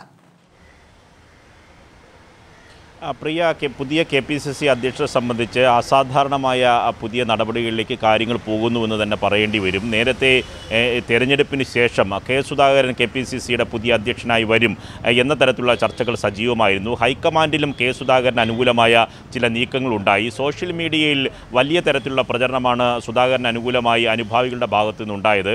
അങ്ങനെ എയും ഐ വിഭാഗങ്ങളൊക്കെ തന്നെ ഇക്കാര്യത്തിൽ മനസ്സ് തുറക്കാത്തതും കെ സുധാകരന് വഴിയൊരുക്കാൻ സഹായകരമായി. പക്ഷേ ആ കാര്യങ്ങളെല്ലാം തകിടം പറയുന്ന തരത്തിലേക്ക് കാര്യങ്ങൾ ഇപ്പോൾ ഈ ഘട്ടത്തിൽ പോകുന്നു. സൂചനകൾ കൂടി ഇപ്പോൾ പുറത്തു വരുന്നുണ്ട്. അത് K Sudhakaran K P C സിയുടെ അധ്യക്ഷനായി വന്നാൽ ആ നിലവിലുള്ള സംഘടനാ സംവിധാനത്തെ മുന്നോട്ട് കൊണ്ടുപോകാൻ കഴിയില്ല. ആ താളം തെറ്റുന്ന അവസ്ഥയിലേക്ക് സംഘടനാ സംവിധാനം മാറും. ആ ഗ്രൂപ്പുകൾ അതായത് എ ഐ ഗ്രൂപ്പുകൾക്ക് അതീതമായി മുഴുവൻ നേതാക്കളും ഇക്കാര്യത്തിലൊരു നിലപാട് സ്വീകരിക്കുകയും ചെയ്യുന്നുണ്ട്. ആ, കെ സുധാകരൻ വരരുത്. മറ്റ് ആരെങ്കിലും എല്ലാ ഈ സംഘടനയെ പൊതുവായി സമന്വയിപ്പിച്ച് മുന്നോട്ട് കൊണ്ടുപോകാൻ കഴിയുന്ന ഒരു വ്യക്തിത്വത്തെ സ്വീകാര്യനായ ഒരു വ്യക്തിത്വത്തെ കെ പി സി സി അധ്യക്ഷനായി പരിഗണിക്കണം എന്ന നിലപാടാണ് ഇപ്പോൾ മുന്നോട്ട് വയ്ക്കുന്നത്. അതിന്റെ ഭാഗമായിട്ടാണ് കൊടിക്കുന്നിൽ സുരേഷിന്റെ പേര് ഇപ്പോൾ ഉയർന്നു വരുന്നത്. Kodikunnil Suresh K P C C അധ്യക്ഷനാകുന്നു. അങ്ങനെ ആകട്ടെ എന്ന നിലപാട് ഒരു വിഭാഗം നേതാക്കൾക്കുണ്ട്. അത് വരാനുള്ള പ്രധാനപ്പെട്ട കാര്യം കെ സുധാകരനെതിരെയുള്ള പരക്കെയുള്ള എതിർപ്പാണ്. ആ എയും ഐയിലെയും പ്രധാന നേതാക്കൾക്ക് പുറമേ വളരെ തലമുതിർന്ന നേതാക്കളടക്കം കെ സുധാകരന്റെ വരവിനെ പരസ്യമായിട്ടല്ലെങ്കിൽ രഹസ്യമായി എതിർക്കുന്നുണ്ട്. കോൺഗ്രസിന്റെ സംഘടനാ സംവിധാനത്തിൽ പ്രത്യേകിച്ച് കോൺഗ്രസിന്റെ കുടുംബങ്ങൾക്കും അനുഭാവികൾക്കും ഉൾക്കൊള്ളാൻ കഴിയുന്ന ഒരു നിലപാടുള്ള ഒരാളായിരിക്കില്ല കെ സുധാകരൻ. കെ സുധാകരൻ പോലെ ഒരാൾ ഈ ഘട്ടത്തിൽ കോൺഗ്രസ് സി അധ്യക്ഷനെ വരികയാണെങ്കിൽ ആ കോൺഗ്രസിന്റെ നിലവിലുള്ള അവസ്ഥയ്ക്ക് വലിയ മാറ്റമുണ്ടാകും. പൊട്ടിത്തെറിയിലേക്കും രാഷ്ട്രീയ നടപടിയിലേക്ക് കെ സുധാകരൻ പോകും. അത് കൂട്ടിയോജിപ്പിച്ച് കൊണ്ടുപോകുന്ന കോൺഗ്രസിന്റെ ഒരു അന്തരീക്ഷത്തിന് എതിരായി മാറും എന്ന തരത്തിലുള്ള വിലയിരുത്തലാണുള്ളത്. അത് കെ പി സി സി യിലെ വിവിധ നേതാക്കൾ എ ഐ സി സിയെയും കേന്ദ്ര കേന്ദ്ര നേതാക്കളെയും അറിയിച്ചിട്ടുണ്ട്. അത്തരത്തിലൊരു നീക്കത്തിന്റെ ഭാഗമായിട്ടാണ് ഇപ്പോൾ കൊടിക്കുന്നിൽ സുരേഷിന്റെ പേര് ഉയർന്നു വരുന്നത്. കൊടിക്കുന്നിൽ സുരേഷ് പല നേതാക്കളുമായി ഇക്കാര്യത്തിൽ ആശയവിനിമയം നടത്തി. അങ്ങനെയാണെങ്കിൽ കെ സുധാകരനെ എതിരെയുള്ള മുഴുവൻ വികാരവും പിന്തുണയും തനിക്ക് അനുകൂലമായി മാറ്റാനുള്ള നിലപാടിലേക്ക് കൊടുക്കുന്ന സുരേഷ് പോകുന്നുണ്ട്. അതുകൊണ്ട് തന്നെ നിലവിൽ പുതിയ കെ പി സി സി അധ്യക്ഷനെ ഉടൻ പ്രഖ്യാപിക്കുന്ന കാര്യം വാർത്ത സ്ഥിരീകരിക്കുന്നുണ്ടോ എങ്കിലും ഉണ്ട് എങ്കിലും കെ സുധാകരനാണോ അത് പകരം വേറൊരു പേര് സമന്വയത്തിലൂടെ കൊടുക്കുന്ന സുരേഷോ മറ്റൊരു പേരോ ഉയർന്നു വരാനുള്ള സാധ്യതയും ഇപ്പോൾ ഇപ്പോൾ പരക്കെ വ്യാപകമായി വരുന്നുണ്ട്. ദില്ലിയിൽ നിന്ന് തന്നെ കേന്ദ്ര നേതാക്കളിൽ നിന്ന് തന്നെ ഇക്കാര്യത്തിൽ സുധാകരനെതിരെയുള്ള വികാരങ്ങൾ കൂടി പുറത്തുണ്ട് വരുന്നുണ്ട് എന്ന തരത്തിലുള്ള വാർത്തകളാണ് പുറത്തു വരുന്നത് പ്രിയ. ശരി കെ. സുധാകരൻ അധ്യക്ഷനാകുന്നതിൽ എ. വിഭാഗത്തിന് കടുത്ത അതൃപ്തി ഉണ്ട് എന്നാണ് മനസ്സിലാക്കാൻ സാധിക്കുന്നത്. ഇത് സംബന്ധിച്ച് അവർക്ക് തൃപ്തിയില്ലായ്മ ഉണ്ട് എന്നുള്ളത് ഹൈക്കമാൻഡിനെ അറിയിക്കുന്നു. സോണിയാഗാന്ധിയെയും സമീപിച്ചിരിക്കുന്നു. തുടങ്ങിയ കാര്യങ്ങളും വാർത്തകളും ഒക്കെ പുറത്തു വരുന്നുണ്ടായിരുന്നു. എന്തായാലും കൊടുക്കുന്നിൽ സുരേഷനാണ് ഇപ്പോൾ നറുക്കു വീണിരിക്കുന്നത്. കൊടുക്കുന്നിൽ വരികയാണെങ്കിൽ പ്രശ്നമില്ല എന്ന തരത്തിലാണ് കാര്യങ്ങൾ നീങ്ങുന്നത്. എന്തായാലും ഉടൻ തന്നെ അധ്യക്ഷനെ പ്രഖ്യാപിക്കും എന്ന് നമുക്കും പ്രതീക്ഷിക്കാം. മറ്റൊരു വാർത്തയിലേക്ക് പോവുകയാണ്. ലോക്ക്ഡൌൺ ലംഘിച്ച് ആദ്യ കുർബാന നടത്തിയ സംഭവത്തിൽ പള്ളി വികാരി അറസ്റ്റിലായി. ചെങ്ങമനാട് പൂവത്തുശ്ശേരി സെന്റ് ജോസഫ് പള്ളി വികാരി ഫാദർ ജോർജ് പാലമറ്റത്താണ് അറസ്റ്റിലായത്. സംഭവത്തിൽ ഇരുപത്തിയഞ്ചോളം പേർക്കെതിരെ ചെങ്ങമനാട് പോലീസ് കേസെടുത്തു. എപ്പിഡമിക് ആക്ട് പ്രകാരമാണ് കേസ്. വിശദാംശങ്ങളുമായി ശരത്ത് നിലയാടി ചേരുന്നു കൊച്ചിയിൽ നിന്നും. ശരത്ത് എന്താണ് സംഭവിച്ചത്? ഈ കോവിഡ് മാനദണ്ഡം ലംഘിച്ചു എന്ന് പറയുമ്പോൾ അത് വ്യക്തമാക്കുന്ന കാര്യങ്ങൾ എന്താണ്? ഇന്ന് രാവിലെ എട്ട് മണിയോട് കൂടിയായിരുന്നു അതായത് അങ്കമാലി പൂവത്തുശ്ശേരി സെന്റ് ജോസഫ് പള്ളിയിൽ ലോക്ഡൌൺ മാനദണ്ഡ- ലംഘിച്ച് ആദ്യ കുർബാന ചടങ്ങ് നടന്നത്. കുട്ടികളും മാതാപിതാക്കളും ഉൾപ്പെടെ ഇരുപത്തഞ്ചോളം ഇരുപത്തഞ്ച് പേരാണ് ഇരുപത്തഞ്ച് പേരാണ് ഈ ഒരു ചടങ്ങിൽ ഒത്തുകൂടിയത്. പള്ളി വികാരി ഫാദർ ജോർജ് പാലമറ്റ് നേതൃത്വത്തിലായിരുന്നു കുർബാന ചടങ്ങ് നടന്നത്. സംഭവത്തിൽ പരാതി ലഭിച്ചതിന് പിന്നാലെ ചെങ്ങമനാട് പോലീസ് സ്ഥലത്തെത്തുകയും തുടർന്ന് നടപടികൾ സ്വീകരിക്കുകയുമായിരുന്നു. എപ്പിഡമിക് ആക്ട് പ്രകാരമാണ് ഇവർക്കെതിരെ കേസ് രജിസ്റ്റർ ചെയ്തത്. പള്ളി വികാരി ഫാദർ ജോർജ് പാലമറ്റത്തെ അറസ്റ്റ് രേഖപ്പെടുത്തിയിരുന്നു. ശേഷം ജാമ്യത്തിൽ വിടുകയും ചെയ്തിട്ടുണ്ട്. കേസിൽ അതായത് ഇരുപത്തഞ്ച് പേർ ഈ ഒരു കുർബാനയിൽ ഒത്തുകൂടിയിട്ടുണ്ട്. അതിൽ പള്ളി വികാരി ഉൾപ്പെടെ ഇരുപത്തഞ്ച് പേരാണ്. ബാക്കിയുള്ളവരെ ഉടനെ തന്നെ അറസ്റ്റ് രേഖപ്പെടുത്തുമെന്ന് എന്നാണ് എറണാകുളം റൂറൽ പോലീസ് വ്യക്തമാക്കിയിട്ടുള്ളത്. ഈ ഒരു സംഭവത്തിൽ തദ്ദേശ സ്ഥാപനങ്ങൾ ഉൾപ്പെടെ മുന്നറിയിപ്പ് നൽകിയിരുന്നു. അതായത് ഇങ്ങനെ ഒരു ചടങ്ങ് നടത്തരുത്. നമുക്കറിയാം സംസ്ഥാനത്ത് ഇപ്പോൾ ജൂൺ ഒൻപത് വരെ കോവിഡ് ലോക്ക്ഡൌൺ കോവിഡ് സാഹചര്യം കണക്കിലെടുത്ത് ലോക്ക്ഡൌൺ നീട്ടിയിട്ടുണ്ട്. അതുകൊണ്ട് തന്നെ ഇത്തരം ചടങ്ങുകൾക്കൊക്കെ തന്നെ നിയന്ത്രണങ്ങൾ തുടരുകയാണ്. ആ ഒരു സാഹചര്യത്തിലാണ് തദ്ദേശ സ്ഥാപനങ്ങൾ ഉൾപ്പെടെ ലംഘ- മുന്നറിയിപ്പ് ലംഘിച്ച് ഇത്തരത്തിലൊരു ചടങ്ങ് നടന്നത്. എന്തായാലും സംഭവത്തിൽ പോലീസ് കർശനമായ നടപടി തന്നെ സ്വീകരിച്ചിട്ടുണ്ട്. പള്ളി വികാരി ഫാദർ ജോർജ് പാലാമറ്റത്തെ അറസ്റ്റ് രേഖപ്പെടുത്തിയ ശേഷം ജാമ്യത്തിൽ വിടുകയും ചെയ്തിട്ടുണ്ട്. ശരി ലോക്ഡൌൺ മാനദണ്ഡങ്ങൾ ലംഘിച്ച് ആദ്യ കുർബാന നടത്തിയ സംഭവത്തിൽ പള്ളി വികാരി അറസ്റ്റിലായിരിക്കുന്നു. വിശദാംശങ്ങളാണ് ശരത്ത് നൽകിയത് ഇദ്ദേഹത്തെ ഇപ്പോൾ ജാമ്യത്തിൽ വിട്ടിട്ടുമുണ്ട്. മറ്റു വാർത്തയിലേക്ക് പോകുന്നു. സംസ്ഥാനത്ത് പുതിയ അധ്യയന വർഷത്തിന് നാളെ തുടക്കമാകും. കോവിഡ് മഹാമാരിയുടെ പശ്ചാത്തലത്തിൽ ഡിജിറ്റൽ പ്രവേശനോത്സവത്തിലൂടെയാണ് സ്കൂൾ കുട്ടികളെ വരവേൽക്കുന്നത്. രാവിലെ എട്ടരയ്ക്ക് മുഖ്യമന്ത്രി പ്രവേശനോത്സവം ഉദ്ഘാടനം ചെയ്യും. ആദ്യം ഡിജിറ്റൽ ക്ലാസുകളും പിന്നീട് ഓൺലൈൻ ക്ലാസുകൾ എന്ന രീതിയിലാണ് അധ്യയന വർഷം ക്രമീകരിക്കുന്നത്. വലിയ ഉത്സവമായി കുട്ടികളെ വരവേറ്റിരുന്ന സ്കൂളുകൾ അത് മഹാമാരി നമ്മിൽ നിന്നും കവർന്നു. എന്നാൽ വെർച്വലായി വ്യത്യസ്ത പരിപാടികളുമായി കുട്ടികളെ വരവേൽക്കാൻ തയ്യാറായി കഴിഞ്ഞു പൊതുവിദ്യാഭ്യാസ വകുപ്പ്. ഫെസ്ബൽ രണ്ടാം പതിപ്പിലൂടെ ഡിജിറ്റൽ ക്ലാസുകൾ ആരംഭിക്കുന്ന ജൂൺ ഒന്നിന് കൈറ്റ് വിക്ടേഴ്സ് ചാനലിൽ വ്യത്യസ്ത മേഖലയിലെ വിദഗ്ധർ പങ്കെടുക്കുന്ന പ്രവേശനോത്സവ പരിപാടികളാണ് രാവിലെ എട്ട് മണി മുതൽ സംപ്രേക്ഷണം ചെയ്യുക. എട്ടരയ്ക്ക് മുഖ്യമന്ത്രി Pinarayi Vijayan Cotton Hill L P എസിൽ എത്തി പ്രവേശനോത്സവത്തിന് ഔദ്യോഗികമായി തുടക്കം കുറിക്കും. കോവിഡ് മാനദണ്ഡം പാലിച്ചാകും ചടങ്ങ്. തുടർന്ന് കുട്ടികളുടെ പരിപാടികളും ഉണ്ടാകും. പതിനൊന്ന് മണി മുതൽ സ്കൂൾ തല പ്രവേശനോത്സവ ചടങ്ങുകൾ വെർച്വലായി ആരംഭിക്കും. KITE CEO Anvar Sadath. ആദ്യം ഡിജിറ്റൽ ക്ലാസ്സുകൾ ആരംഭിക്കുകയും ക്രമേണ ഘട്ടം ഘട്ടമായി ഓൺലൈൻ ക്ലാസ്സുകളിലേക്ക് കൂടെ പോവുകയും ചെയ്യുന്ന സംവിധാനമാണ് ഇപ്രാവശ്യം ഉണ്ടാവുക. വളരെ മികച്ച രൂപത്തിൽ കുട്ടികൾക്ക് ഒരേ സമയം മനസ്സിലാക്കാനും അത് രസകരമായിട്ട് ഉൾക്കൊള്ളാനും കഴിയുന്ന രൂപത്തിലാണ് ഈ അക്കാദമിക് വർഷത്തെ ഡിജിറ്റൽ ക്ലാസ്സുകൾ സംപ്രേഷണം ചെയ്യാൻ പോകുന്നത്. ഫസ്റ്റ് ബെല്ലിൽ രാവിലെ പത്ത് മുപ്പതിന് അംഗൻവാടി കുട്ടികൾക്കുള്ള പുതിയ കിളിക്കൊഞ്ചൽ ക്ലാസുകൾ ആരംഭിക്കും.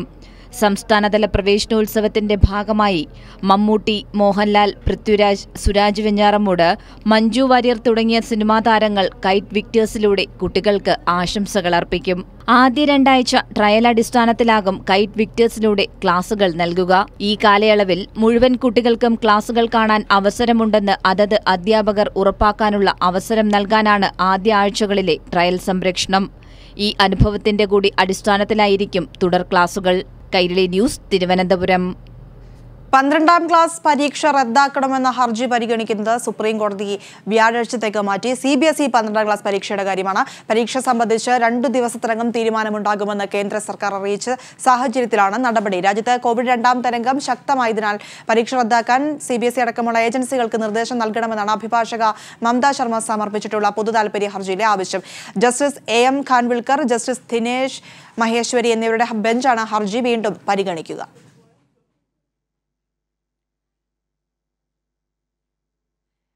കൈരളി ന്യൂസ് ലൈവിൽ വിദ്യാഭ്യാസ മന്ത്രി ശിവൻകുട്ടിയോട് പഠന സഹായിയായി മൊബൈൽ ഫോണിലെന്ന് അറിയിച്ച തെന്മലയിലെ ഗോപിക എന്ന വിദ്യാർത്ഥിനി. നിമിഷങ്ങൾക്കകം പുന്നൂർ എം എൽ എ സുബാലിനെ വിളിച്ച് ഫോൺ നൽകാൻ നടപടി സ്വീകരിക്കണമെന്ന് മന്ത്രി നിർദ്ദേശിച്ചു. കൈരളി ന്യൂസിൽ തത്സമയം മന്ത്രി പങ്കെടുക്കുമ്പോഴാണ് പഠിക്കാൻ മൊബൈൽ ഫോണിലെന്ന് തെന്മലയിലെ ഗോപിക എന്ന വിദ്യാർത്ഥിനി പൊതുവിദ്യാഭ്യാസ മന്ത്രി വി ശിവൻകുട്ടിയോട് ദുഃഖം പങ്കുവച്ചത്. ഉടൻ നടപടി ഉണ്ടാകുമെന്ന് മന്ത്രി ഗോപികയ്ക്ക് ഉറപ്പ് നൽകി. ചാനൽ ചർച്ചയിൽ ഇരുന്നു കൊണ്ട് തന്നെ മന്ത്രി Ponnalur M L A P S സുബാലിനെ വിളിച്ച് ഇക്കാര്യം അറിയിച്ചു. സാറേ എനിക്ക് പഠന ആവശ്യത്തിനായി മൊബൈൽ ഇല്ല. ഓൺലൈൻ ക്ലാസ് പഠിക്കാൻ വേണ്ടി. ഗോപിക മോൾ എവിടെ താമസിക്കുന്നു? കൊല്ലത്ത് കൊല്ലം തെന്മല. ഞാൻ അവിടുത്തെ M L A Pullur M L എയോട് പറയാം. മോളും കൂടെ മോളും മോളുടെ അച്ഛനോ അച്ഛ- അച്ഛനുമായി ബന്ധപ്പെട്ട് മോൾ മോളുമായി എം എൽ എ ഒന്ന് ബന്ധപ്പെടാൻ വേണ്ടി ശ്രമിക്കുക. ഗോപികയ്ക്ക് ഒരു മൊബൈൽ ഫോൺ വാങ്ങി നൽകാൻ മന്ത്രി എം എൽ എയോട് അഭ്യർത്ഥിച്ചു. ഫോൺ വാങ്ങി നൽകുമെന്ന് എം എൽ എ ഉറപ്പും നൽകി. വിവരം ഗോപികയെ അറിയിക്കുകയും എം എൽ എയുടെ ഫോൺ നമ്പർ കൈമാറുകയും ചെയ്തു. പഠന സഹായിയായി മൊബൈൽ ഫോൺ ഉറപ്പായും കിട്ടുമെന്ന ആഹ്ലാദത്തിലാണ് ഗോപിക എന്ന കൊച്ചുമിടുക്കി. സുബാലെ ഞാൻ ഒരു ഒരു ഫോൺ വാങ്ങിക്കൊടുക്കുന്നത് അവിടെ ഒരു കുട്ടിക്ക്. ഞാൻ നമ്പർ കൊടുക്കാം സുബാലിന്റെ കേട്ടോ? ഓ ഓ. തെന്മലയിലുള്ള ഗോപിക്ക് സുബാലിന്റെ നമ്പർ കൂടെ കൊടുക്കാം. നിങ്ങൾ തന്നെ പിന്നെ കേ- കേരളീക്കാർ തന്നെ കൊടുത്തേക്കൂ. എന്റെ വീട്ടിൽ വളരെ ബുദ്ധിമുട്ടാണ്. എനിക്ക് മൊബൈൽ മേടിക്കാനുള്ള സാമ്പത്തിക ബന്ധമൊന്നുമില്ലായിരുന്നു. പിന്നെ ഇന്ന് നാല് രൂപയ്ക്കുള്ള കയറി ടിവിയിലെ തത്സമയം എന്ന വിദ്യാഭ്യാസ മന്ത്രി വിളിച്ചു. അദ്ദേഹത്തോട് ബന്ധപ്പെട്ടു സംസാരിച്ചു. എനിക്ക് മൊബൈലിലുള്ള എല്ലാ കാര്യങ്ങളും ചെയ്തു തന്നു വിദ്യാഭ്യാസ മന്ത്രിക്കും കയറി ടിവിനും എന്റെ വളരെയേറെ നന്ദി. ഉടൻ ഫോൺ കൈമാറുമെന്ന് സുഭാൽ എം എൽ എയും അറിയിച്ചു. ഇതുമായി ബന്ധപ്പെട്ട കാര്യത്തിൽ വിദ്യാഭ്യാസ മന്ത്രി അടിയന്തരമായി എന്നെ വിളിച്ചിരുന്നു. ഒരു മൊബൈൽ ഫോൺ എത്തിക്കണമെന്നുള്ള നിർദ്ദേശം മുന്നോട്ട് വയ്ക്കുന്നുണ്ടായി അടിയന്തരമായി ഞാൻ ആ കുട്ടിയെ വിളിച്ചിരുന്നു. അടിയന്തരമായി അതായത് അടുത്ത ദിവസങ്ങളിൽ തന്നെ ആ കുട്ടിക്ക് ഒരു മൊബൈൽ ഫോൺ പ്ലാനിൽ നൽകുന്നതിനാവശ്യമായിട്ടുള്ള നടപടികളുണ്ടാകും ഗോപികയുടെ അപ്രതീക്ഷിത കോളും മന്ത്രി ശിവൻകുട്ടിയുടെ ജനകീയ പരിഹാരവും രണ്ടും പിണറായി സർക്കാരിന്റെ മുഖമുദ്രയായി. കൈരളി ന്യൂസ് കൊല്ലം. ഇടവേള. മഹാരാഷ്ട്രയിൽ കോവിഡ് രണ്ടാം തരംഗത്തിന്റെ തീവ്രത കുറയുന്ന സാഹചര്യത്തിൽ ജാഗ്രത കൈവിടരുതെന്നും കോവിഡ് മൂന്നാം തരംഗത്തെ നേരിടാൻ തയ്യാറാകണമെന്നും മുഖ്യമന്ത്രി ഉദ്ധവ് താക്കറെ. കഴിഞ്ഞ ദിവസം സംസ്ഥാനത്തെ അഭിസംബോധന ചെയ്ത് സംസാരിക്കുകയായിരുന്നു ഉദ്ധവ് താക്കറെ. സംസ്ഥാനത്തെ നഗരങ്ങളിൽ കോവിഡ് കേസുകൾ കുറയുന്നുണ്ടെങ്കിലും ഗ്രാമപ്രദേശങ്ങളിൽ വർധനയുണ്ടെന്ന് മഹാരാഷ്ട്ര മുഖ്യമന്ത്രി ഉദ്ധവ് താക്കറെ പറഞ്ഞു. മൂന്നാം തരംഗം എപ്പോൾ ഏത് തീയതികളിൽ വരുമെന്ന് അറിയില്ലെന്നും എന്നാൽ ജാഗ്രത കുറയ്ക്കരുതെന്നും താക്കറെ മുന്നറിയിപ്പ് നൽകി आपण जे जो एक अनुमान आहे आपल्याकडे की तिसरी लाट येऊ शकते तिसरी लाट येऊ शकते मग तिसरी लाट कोणात येणार कोणावर अ, लहान मुलांमध्ये येणार का आणखीन कुठे येणार का तर तिसरी लाट ही अशी काय अ, तारीख सांगून येणार नाहीये കോവിഡ് വ്യാപനം തടയുന്നതിന് സംസ്ഥാനത്ത് ഏർപ്പെടുത്തിയിരിക്കുന്ന നിയന്ത്രണങ്ങൾ ജൂൺ പതിനഞ്ച് വരെ നീട്ടുമെന്ന് മുഖ്യമന്ത്രി പ്രഖ്യാപിച്ചു ഓരോ ജില്ലയിലെയും സ്ഥിതിഗതികൾ സംസ്ഥാന സർക്കാർ വിലയിരുത്തുമെന്നും അദ്ദേഹം പറഞ്ഞു കോവിഡ് അണുബാധയുടെ മൂന്നാം തരംഗം സംസ്ഥാനത്തെ ബാധിച്ചാൽ മെഡിക്കൽ ഓക്സിജന്റെ പ്രതിസന്ധി നേരിടേണ്ടി വരുമെന്നും താക്കറെ ആശങ്കപ്പെട്ടു ऑक्सिजनची व्यवस्था आपण वाढवतोय मिशन ऑक्सिजन हा एक कार्यक्रम घेतलाय जरूर घेतलाय മാതാപിതാക്കളെ നഷ്ടപ്പെട്ട കുട്ടികളുടെ ഉത്തരവാദിത്വം സർക്കാർ ഏറ്റെടുക്കുമെന്നും ഇത് സംബന്ധിച്ച മാർഗനിർദ്ദേശങ്ങൾ ഉടൻ പുറത്തിറക്കുമെന്നും മുഖ്യമന്ത്രി പറഞ്ഞു മഹാരാഷ്ട്രയിലെ പ്രതിദിന കോവിഡ് കേസുകളിൽ ഗണ്യമായ കുറവാണ് കഴിഞ്ഞ ദിവസങ്ങളിൽ രേഖപ്പെടുത്തിയത് പ്രേംലാൽ കൈലി ന്യൂസ് മുംബൈ കോഴിക്കോട് മലപ്പുറം ജില്ലകളെ ബന്ധിപ്പിക്കുന്ന കടലുണ്ടിക്കടവ് പാലം പൊതുമരാമത്ത് ടൂറിസം വകുപ്പ് മന്ത്രി പി എ മുഹമ്മദ് റിയാസ് സന്ദർശിച്ചു. അപകടാവസ്ഥയിലായ പാലത്തിന്റെ അറ്റകുറ്റപ്പണികൾ വേഗത്തിലാക്കാൻ ഉദ്യോഗസ്ഥർക്ക് നിർദ്ദേശം നൽകിയതായി മന്ത്രി അറിയിച്ചു.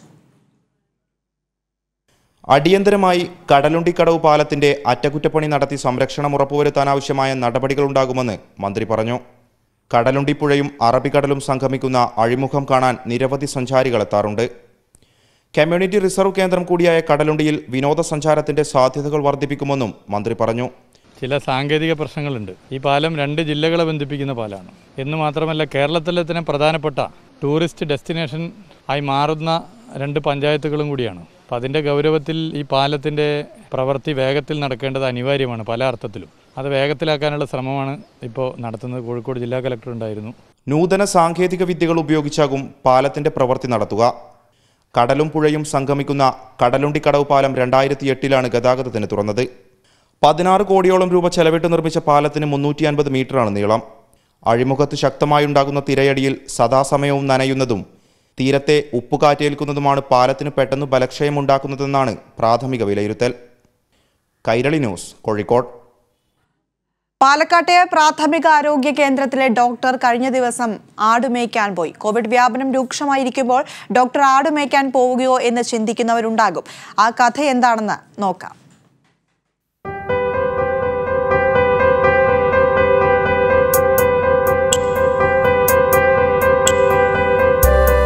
പെരുമാട്ടി പ്രാഥമികാരോഗ്യ കേന്ദ്രത്തിലെ ഡോക്ടറാണ് റോഡരികിൽ ആടുമേയ്ക്കുന്നത്. രോഗികളെ പരിചരിക്കുന്ന ഡോക്ടർ ആട്ടിടയനായ കഥയാണ്. ആ കഥ എന്താണെന്ന് പെരുമാട്ടി പ്രാഥമിക ആരോഗ്യ കേന്ദ്രത്തിലെ ഡോക്ടർ റിയാസ് തന്നെ പറയും. എന്താണ് അന്ന് സംഭവിച്ചത്? ഞങ്ങൾ എല്ലക്കാട് സൗത്തിൽ വാക്സിനേഷൻ വന്ന സമയത്ത് ഞങ്ങളിങ്ങനെ വാക്സിനേഷൻ നടന്നുകൊണ്ടിരിക്കുമ്പോഴാണ് നമ്മളെ മഞ്ജുളാത്താണ് ഞാൻ കണ്ടത്. അപ്പോൾ അത് അവർ ഇങ്ങനെ ആട് മേച്ചുകൊണ്ടിരിക്കുന്ന റോഡിൽ ആട് മേച്ചുകൊണ്ട് നിൽക്കുന്നതായിരുന്നു ഞാൻ അവരോട് വാക്സിനേഷൻ എടുക്കാൻ വേണ്ടി വരാൻ പറഞ്ഞ സമയത്ത് മഞ്ജുളാത്താൾ എടുത്തു വായിക്ക് പറഞ്ഞത് എനിക്ക് ഞാൻ വരാം വാക്സിനേഷൻ എടുക്കാം. പക്ഷേ ആടുകൾ ആരും നോക്കുന്നതായി അപ്പൊ ഞാനും അതേ പിന്നെ സ്പീഡിൽ തന്നെ റെസ്പോണ്ട് ചെയ്യുകയും ചെയ്തു. ഞാൻ ആട് നോക്കിക്കോളാം വേമ്പ് വാക്സിൻ ഭയം മൂലം വാക്സിനേഷനിൽ നിന്നൊഴിഞ്ഞു മാറിയ മഞ്ജുളാത്താളെ കോവിഡ് വാക്സിൻ എടുപ്പിക്കുന്നതിനായി അരമണിക്കൂറിലധികം നേരമാണ് റിയാസ് ഡോക്ടർ ആട്ടിടയനായത്. പതിമൂന്ന് ആടുകളുടെ സംരക്ഷണം ഏറ്റെടുക്കുമെന്ന ഡോക്ടറുടെ ഉറപ്പിൽ മഞ്ജുളാത്താൾ കുത്തിവെപ്പെടുത്ത് തിരിച്ചെത്തി. ഡോക്ടറിന്റെ റോൾ വേറെയാണ്. ആട്ട് ആട്ടിടനാവുന്നതിന്റെ റോൾ വേറെയാണെന്ന് മനസ്സിലായി. ചെറിയ റിസ്കി ജോബാണെന്നാണ് എനിക്ക് തോന്നുന്നത്. കാരണം മഞ്ജുളാത്താൾ വാക്സിൻ എടുക്കാൻ പോകുന്നതിന് മുമ്പ് തന്നെ വാക്സിൻ പിന്നെ ഒരു എനിക്കൊരു ഇത് തന്നിട്ടാണ് പോയത്. കാരണം പതിമൂന്ന് ആടുകളുണ്ട്. തിരിച്ചു വരുമ്പോഴും പതിമൂന്ന് ആടുകൾ തന്നെ ഉണ്ടാവണമെന്ന്. അപ്പോൾ ആ ഒരു ജോബ് ഏറ്റെടുക്കുമ്പോൾ ഒരു പേടി എനിക്കുണ്ടായിരുന്നു. വളരെ ചെറിയ ചെറിയ ആടുകളായിരുന്നു. അപ്പോൾ തൊട്ടപ്പുറത്ത് വലിയ തോപ്പാണ്. ആടുകൾ എങ്ങാനും അങ്ങോട്ട് പോയി കഴിഞ്ഞാൽ തിരിച്ചു വരുമ്പോൾ മഞ്ജുളാത്താൾ എന്നോട് ചോദിക്കും. അപ്പോൾ വാക്സിൻ തിരിച്ച് വന്ന സമയത്ത് മഞ്ജുളാത്തൽ ആദ്യം കൗണ്ട് ചെയ്തു എത്ര ആടുകൾ ഉണ്ടെന്ന് കൗണ്ട് ചെയ്തതിന് ശേഷം മാത്രമേ എന്നോട് സംസാരിച്ചിട്ടുള്ളൂ. അപ്പോൾ കൗണ്ട് ചെയ്ത് പതിമൂന്ന് ആടുകൾ ഉണ്ടെന്ന് കണ്ടപ്പോൾ മഞ്ജുളാത്തൽ ഹാപ്പിയായി വാക്സിനേഷൻ എടുത്തതിൽ എനിക്കും ഹാപ്പിയായി വാക്സിൻ എടുക്കാനുള്ള ഭയം കൊണ്ടാണ് ആദ്യം ആട് ആടുമയ്ക്കാനുണ്ടെന്നും നോക്കാൻ ആളില്ലെന്നും ഡോക്ടറോട് പറഞ്ഞതെന്ന് ചിരിച്ചുകൊണ്ട് മഞ്ജുളാത്താൽ. കുത്തിവെപ്പിനോടുള്ള ഭയം മാറിയെന്നും കോളനിയിലെ മറ്റുള്ളവരെ കൂടി വാക്സിൻ എടുപ്പിക്കുമെന്നും മഞ്ജുളാത്താറുടെ ഉറപ്പ്. പേടിയാണോ? ആ നാങ്ക പിറസ് ഉണക്ക மாத்திரை விடாம சாப்பிட்டு தான் இருக்கிறப்ப அதனால பேடிது எனக்கு இது இப்படி சேராம ஏதாச்சும் குழப்பமாயிருமோன்னு பயமா இருந்ததுங்க ഇപ്പൊ പേടി മാറിയോ இப்பெல்லாம் பேடி இல்லைங்க காசல் மேலே அந்த கொடுத்த மாத்திரை எல்லாம் பூரா சாப்பிட்டாச்சு ആടുകളെ നന്നായി നോക്കിയെന്ന ഡോക്ടർക്ക് മഞ്ജുള അത്താറുടെ ഗുഡ് സർട്ടിഫിക്കറ്റ് നല്ല രീതിയിൽ നോക്കിയോ ஓ அப்படியே இருந்துங்க நல்லா பார்த்துட்டாங்க പതിമൂന്ന് ആട് ഉണ്ടായിരുന്നു ஓ பதிமூணும் இருந்ததுங்க പെരുമാട്ടി പഞ്ചായത്തിലെ ഇരുപത്തിയൊൻപത് ആദിവാസി കോളനികളിൽ ഭൂരിഭാഗം പേർക്കും വാക്സിനേഷൻ പൂർത്തിയാക്കി കഴിഞ്ഞു ആശങ്ക മൂലം മാറി നിൽക്കുന്നവരെ കൂടി വാക്സിനേഷന്റെ ഭാഗമാക്കുന്നതിനുള്ള തീവ്ര പരിശ്രമത്തിലാണ് ആരോഗ്യ പ്രവർത്തകർ. കോവിഡ് രണ്ടാം തരംഗം രൂക്ഷമായിരിക്കെ ആരോഗ്യ പ്രവർത്തകർ നടത്തിക്കൊണ്ടിരിക്കുന്ന നിസ്വാർത്ഥ സേവനത്തിന്റെ നേർക്കാഴ്ചയാണ് വാക്സിനേഷൻ എല്ലാവരിലും എത്തിക്കാൻ ആട്ടിടയന്റെ വേഷമണിഞ്ഞ റിയാസ് ഡോക്ടർ. ഡോക്ടറുടെ പിന്തുണയിൽ വാക്സിൻ എടുത്ത മഞ്ജുളാത്താൾ താൾ മറ്റുള്ളവരോട് പറയുന്നു. ഭയപ്പെടാതുങ്കോ ഊസി പോടുങ്കോ. സിജു കണ്ണൻ കൈരളി ന്യൂസ് പാലക്കാട്. ഇടവേള. സംസ്ഥാനത്ത് കാലവർഷം വ്യാഴാഴ്ച എത്തുമെന്ന് കാലാവസ്ഥാ നിരീക്ഷണ കേന്ദ്രം. മൺസൂൺ കാട്ട് ചൊവ്വാഴ്ചയോടെ ശക്തിപ്പെടും. ഇന്ന് കാലവർഷം എത്തുമെന്നായിരുന്നു നേരത്തെയുള്ള പ്രവചനം. അതേസമയം ഒറ്റപ്പെട്ട സ്ഥലങ്ങളിൽ ചൊവ്വാഴ്ച വരെ ഇടിമിന്നലോടുകൂടിയ മഴയ്ക്ക് സാധ്യതയുണ്ട്. കേരളം ലക്ഷദ്വീപ് തീരങ്ങളിൽ കാറ്റിന് സാധ്യതയുള്ളതിനാൽ മീൻ പിടിക്കാൻ പോകരുതെന്നും നിർദ്ദേശം.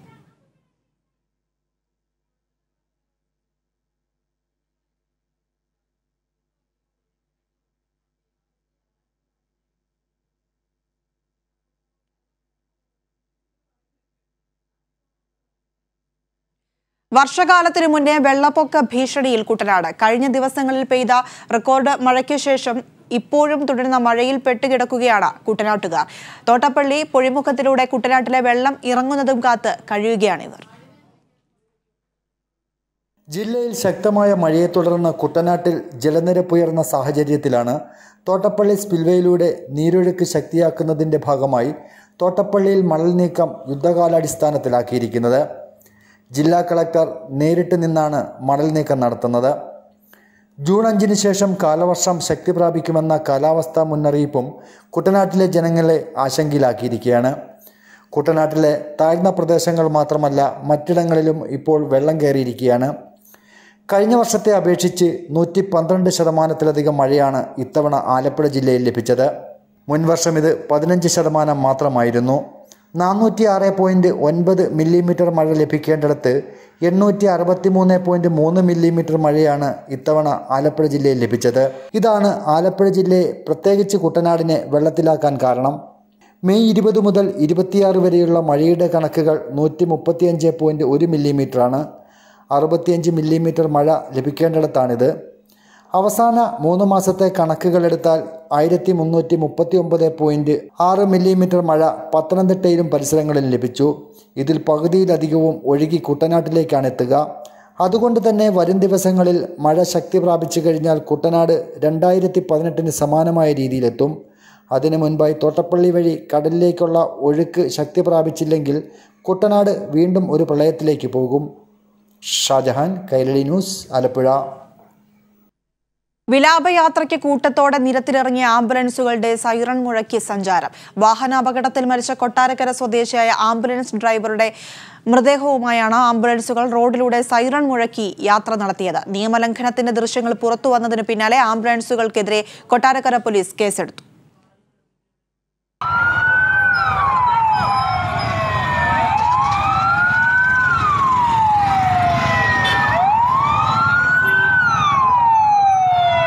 കൊട്ടാരക്കര സ്വദേശിയും ആംബുലൻസ് ഡ്രൈവറുമായ ഉണ്ണിക്കുട്ടൻ ഉൾപ്പെടെ നാല് പേർ കഴിഞ്ഞ ദിവസം ആലപ്പുഴ ജില്ലയിൽ നടന്ന അപകടത്തിലാണ് മരിച്ചത്. വിലാപയാത്രയെ മൃതദേഹം കൊട്ടാരക്കരയിലേക്ക് കൊണ്ടുവരുമ്പോഴാണ് കൂട്ടത്തോടെ സൈറൺ മുഴക്കി ആംബുലൻസുകൾ വാഹനജാഥയാക്കിയത് മാറ്റി.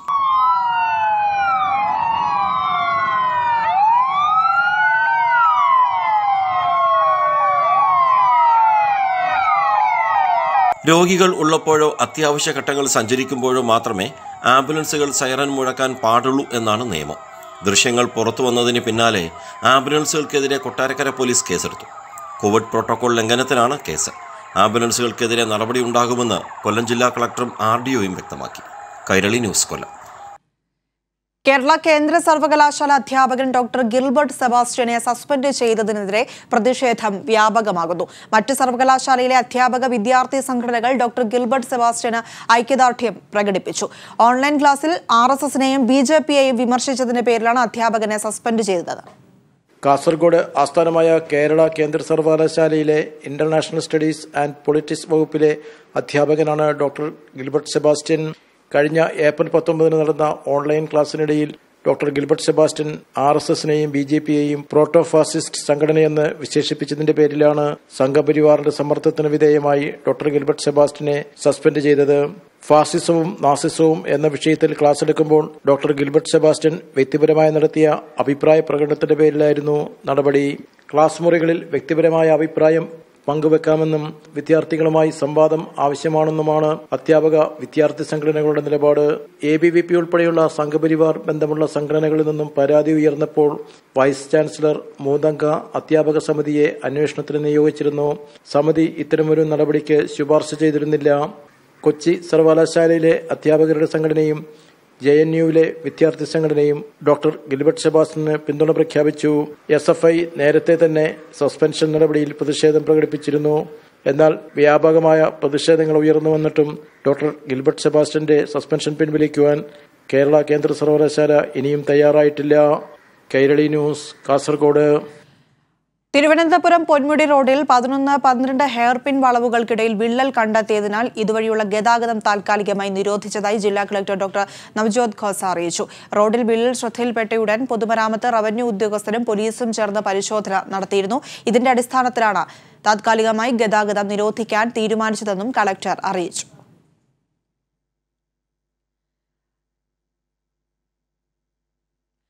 പ്രായമായവർ തനിച്ച് താമസിക്കുന്ന വീടുകളിൽ അലാം മുഴക്കിയാൽ സഹായമെത്തുന്ന പദ്ധതിയുമായി Kozhikode rural police.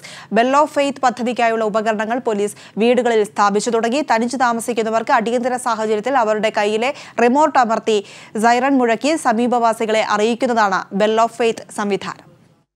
പ്രായമായവർ തനിച്ച് താമസിക്കുന്ന വീടുകളിൽ സുരക്ഷിതത്വത്തിന്റെ അലാറം മുഴക്കുകയാണ് കോഴിക്കോട് റൂറൽ പോലീസ്. തനിച്ച് കഴിയുന്ന വയോജനങ്ങൾക്ക് കരുതലും സുരക്ഷയും ഒരുക്കുന്നതിന്റെ ഭാഗമായാണ് ഓഫ് ഫെയ്ത്ത് എന്ന പദ്ധതി ആവിഷ്കരിച്ചിരിക്കുന്നത്. റൂറൽ പരിധിയിലെ നാനൂറ് വീടുകളിലാണ് റിമോട്ട് കൺട്രോളിൽ പ്രവർത്തിക്കുന്ന അലാറം സ്ഥാപിക്കുന്നത്. വീടുകളിൽ അക്രമം കവർച്ച അസുഖം എന്നീ അടിയന്തര ഘട്ടങ്ങളിൽ റിമോട്ട് അമർത്തിയാൽ അലാറം മുഴങ്ങും.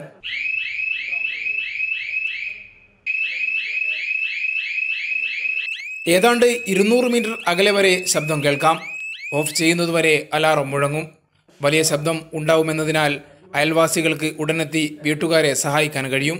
ഇവ സ്ഥാപിക്കുന്ന വീടുകളിലും അയൽ വീടുകളിലും പോലീസ് ബോധവൽക്കരണം നടത്തുന്നുണ്ട്. അലാറം കേട്ടാൽ അടിയന്തരമായി ഇടപെടാനും ഉടൻ പോലീസിൽ അറിയിക്കാനുമാണ് നിർദ്ദേശം. പദ്ധതിയുടെ ഉദ്ഘാടനം Kozhikode rural S P doctor A Sreenivas നിർവഹിച്ചു. ഈ ഒരു സംവിധാനം എന്ന് പറഞ്ഞാൽ നമ്മുടെ ഓരോരോ പോലീസ് സ്റ്റേഷനും ജനമൈത്രി പോലീസുകാർ ഒറ്റയ്ക്ക് താമസിക്കുന്ന ആൾക്കാരും ഇങ്ങനെ പ്രായ കൂടുതലായ ആൾക്കാർ ഒറ്റയ്ക്ക് താമസിക്കുന്ന ആൾക്കാരനെ ലിസ്റ്റ് ഔട്ട് ചെയ്തിട്ട് അവരുടെ ലിസ്റ്റ് നമ്മുടെ കയ്യിലുണ്ട്. ഒരു ബെൽ ഓഫ് ഫേത്ത് അങ്ങനെയുള്ള മെഷീൻ അതാത് ആൾക്കാരനെ ഏൽപ്പിക്കും. അവർക്ക് ഒരു റിമോട്ടും പിന്നെ ആ മെഷീൻ ഉണ്ടാവും. സോ രാത്രി അവർ ഒറ്റയ്ക്ക് ഉള്ള സമയത്ത് അവർക്ക് എന്തൊക്കെ? ഹെൽത്തിന്റെ ഇഷ്യൂ ആയി. പെട്ടെന്ന് ആരനെ വിളിക്കാൻ പോലും പറ്റാത്ത സ്ഥിതിയായാൽ ആ റിമോട്ട് അവരുടെ കയ്യിലുണ്ടാവും അപ്പോൾ തന്നെ അത് റിമോട്ട് അമർത്തിയാൽ നല്ലൊരു ശബ്ദം ഉണ്ടാവും. സോ അയൽക്കാർ അവരെ സഹായിക്കും.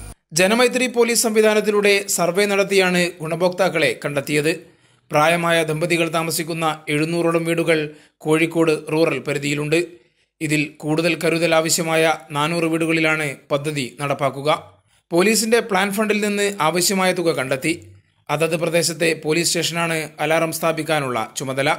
വീട്ടിലെ ബെൽ ഓഫ് ഫെയ്ത്ത് സംവിധാനം തനിച്ച് താമസിക്കുന്ന വയോജനങ്ങൾക്ക് കരുതലും ആത്മവിശ്വാസവും നൽകുമെന്നുറപ്പ്.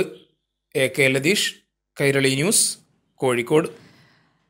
എൺപതുകളിലും തൊണ്ണൂറുകളിലും കേരളത്തിലെ യുവാക്കളുടെ കാലുകളിലേക്ക് കാൽപന്ത് കളിയുടെ ആവേശം എത്തിച്ച വ്യക്തിയാണ് സി വി പാപ്പച്ചൻ. പന്തടക്കം കൊണ്ട് കാൽപന്ത് കളിയിൽ വിസ്മയം തീർത്ത പാപ്പച്ചൻ ഇന്ന് കേരള പോലീസിന്റെ പടിയിറങ്ങുന്നു. കേരള പോലീസുമായി സി വി പാപ്പച്ചനുള്ള ബന്ധം ഇന്ത്യൻ ഫുട്ബോളിന്റെ ചരിത്രം കൂടിയാണ്. ആയിരത്തി തൊള്ളായിരത്തി തൊണ്ണൂറിലെ ഫെഡറേഷൻ കപ്പ് കരുത്തരായ സാൽഗോഗറിനെ അട്ടിമറിച്ച് കേരള പോലീസ് ആദ്യമായി കപ്പിൽ മുത്തമിട്ടു. അതിന് കാരണമായത് മത്സരത്തിന്റെ രണ്ടാം പകുതിയിൽ സി വി പാപ്പച്ചനടിച്ച നിർണായക ഗോൾ. ഇങ്ങനെ നിരവധി അനവധി ഗോളുകളിലൂടെ കേരള പോലീസിന് ഫുട്ബോൾ ചരിത്രത്തിൽ നിർണായക ഇടം നേടിക്കൊടുത്ത വ്യക്തിയാണ് സി വി പാപ്പച്ചൻ. കേരള പോലീസിന്റെ ജേഴ്സിയിലും കാക്കിയിലും ഒരുപോലെ തിളങ്ങിയ താരം. മുപ്പത്തിയാറ് വർഷത്തെ സർവീസ് ജീവിതം അവസാനിപ്പിച്ച് കേരള പോലീസ് അക്കാദമിയുടെ കമാൻഡന്റായി പാപ്പച്ചൻ പടിയിറങ്ങുകയാണ്. ഇന്നിപ്പോൾ നാളെ ഞായറാഴ്ചയാണ്. ഇന്നത്തെ ലാസ്റ്റ് പിന്നെ തിങ്കളാഴ്ച പിന്നെ അധികം ലോഡൊന്നുമില്ല പക്ഷെ എന്നാലും ഇങ്ങനെ ഓർത്തു ഇങ്ങനെ നമ്മുടെ മനസ്സിൽ മുപ്പത്താറ് കൊല്ലം കഴിഞ്ഞതിന്റെ ഒരു സംതൃപ്തിയിൽ നിൽക്കുകയാണ്. പന്തടക്കത്തോടെയുള്ള കളി കണ്ട് വലിയ ക്ലബ്ബുകളിൽ നിന്ന് വൻതുകയ്ക്ക് അവസരങ്ങൾ പാപ്പച്ചനെ തേടിയെത്തി. പക്ഷേ കേരള പോലീസിന്റെ മുൻനിരയിൽ നിന്ന് ഒരിക്കൽ പോലും പാപ്പച്ചൻ വിട്ടുനിന്നിട്ടില്ല. അതൊരു ജോലി ഇതൊരു ജോബാണ്. മറ്റേത് നമുക്ക് പറഞ്ഞാൽ പ്രൊഫഷണൽ പ്ലെയറാണ് അപ്പോൾ പ്രൊഫഷണൽ എന്ന് പറയുമ്പോൾ നമുക്ക് ഒരു പക്ഷേ സ്റ്റാർട്ടിങ്ങിൽ നമുക്ക് നല്ലൊരു എന്താ പറയുക പ്രോഗ്രസ് ഉണ്ടാവും. കാരണം നമുക്ക് ഒരുപാട് ഫെയിം ഉണ്ടാവും. അല്ലെങ്കിൽ കുറേ പണം നമുക്ക് വരും. പക്ഷെ അത് ലോങ് ടൈം അല്ല. അപ്പോൾ ഇത് ജോലി എന്നുള്ള പറഞ്ഞ് നമുക്ക് ഞാൻ പറഞ്ഞില്ല ഇപ്പോൾ മുപ്പത്താറ് കൊല്ലം എനിക്ക് സർവീസ് ഔദ്യോഗിക ജീവിതം എനിക്ക് പോലീസിൽ ഫുട്ബോൾ കളിച്ച് പോലീസിൽ കയറാൻ സാധിച്ചു. എട്ട് തവണ കേരളത്തിനായി സന്തോഷ് ട്രോഫി കളിച്ച പാപ്പച്ചൻ എൺപത്തിയേഴ് മുതൽ ഏഴ് കൊല്ലം ദേശീയ ടീമിലും അണിനിരന്നു.